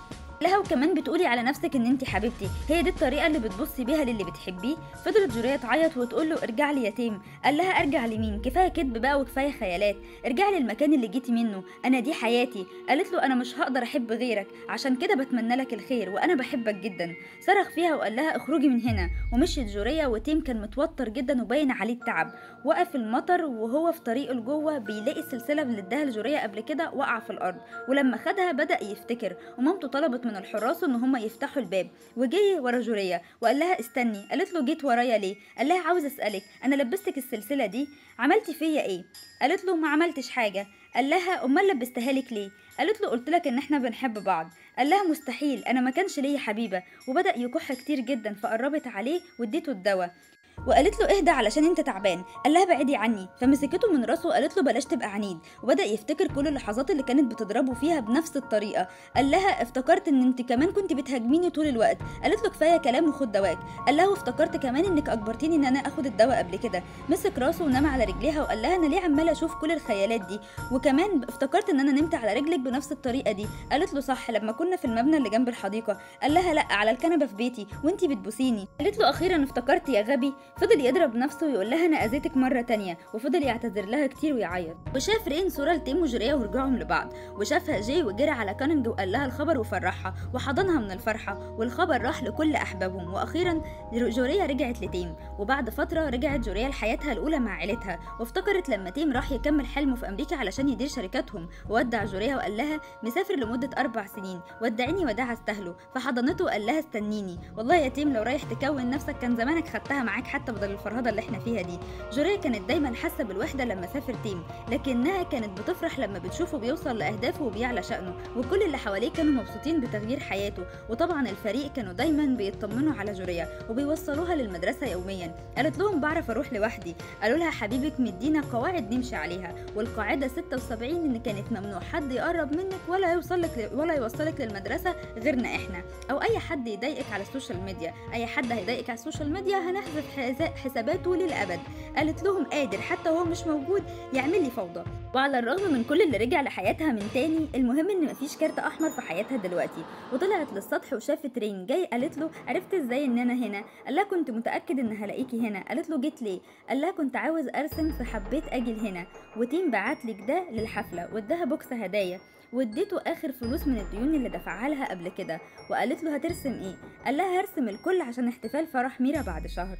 ولما روحت شافت الهدية اللي كانت فستان أبيض وكان جميل جدا وسمعوا صوت عربية تحت البيت وكان بابا جوريا جايب عربية علشان ينقله قالوا له إزاي ده هيحصل وجوريا لسه عندها حفلة النهارده؟ قال لهم جوريا ملهاش علاقة أنا هشيل كل حاجة. وطبعا في الآخر حال بيرسى إن جوريا هي اللي بتشيل كل هموم البيت كالعادة يعني. وحتى هي اللي ساقت العربية علشان توصل لهم الحاجة. ووقت الحفلة كان خلاص الكل موجود ما عدا جوريا. كانت بتصلح العربية اللي عطلت بيهم. وأخيرا افتكرت أمها إنها لازم تروح للحفلة وقالت لها أنت اتأخرتي جدا. وجه أخوها علشان يجيب لها الفستان وقع منه في الطين. ولما وصلت لمكان الحفلة بهدوم المدرسة كانت الحفلة خلصت أصلا ومفيش أي حد موجود. ولقيت موجود على الأرض كارت أحمر من تاني. وكل ما تمسك واحد تلاقي غيره. وفضلت ماشية وراهم لحد ما وصلت للملعب القديم اللي كانوا بيعاقبوا فيه أصحاب الكارت وكان خلاص صحابها موجودين هناك وقالوا لها انت خدت كارت أحمر من تاني واللي اداك الكارت مستنيكي جوه. ولما دخلت لقيت تيم في شاشة كبيرة. قال لها دايما كده مواعيدك متأخرة ولازم استناكي فين الفستان اللي بعتهولك. قالت له أنا آسفة وقع مني في الطين. قال لها انت كده مناسبة أكتر. قال لها انت مش زعلانة إني ما جيتش للحفلة صح؟ قالت له شوية صغيرين. قال لها هو زعلان شوية صغيرين بس فجأة ظهر على الشاشة صحابه معاه وقال لها حفلة حبيبتي إزاي ما أحضرهاش؟ وجه من وراها وقالت له مفاجأة حلوة منك. قال لها مش مفاجأة دي حفلة. وكان مجهز لها المكان وكان واو جدا. وقال لها طلبت من الكل إن مفيش حد هيبدأ الحفلة من غير وجودك. وقال لها كمان أنا خلصت إنجازاتي كلها وكل شغلي في أمريكا وده معناه إن حققت حلمي. ونزل في الأرض وكان المفروض الكل مفكر إن هو كده هيتقدم لها بشكل رومانسي. أتاريه لسه ساذج زي ما هو ونازل يربط رباط ال shoes بتاعه عادي جدا. وبدأت الحفلة والكل كان مبسوط جدا. وافتكرت جوريا كل الصعوبات اللي واجهتها لحد ما وصلت لهنا وكان صبرها في محله. كنت معاكم مي أحمد ما تنسونيش بال like وال share وال subscribe عشان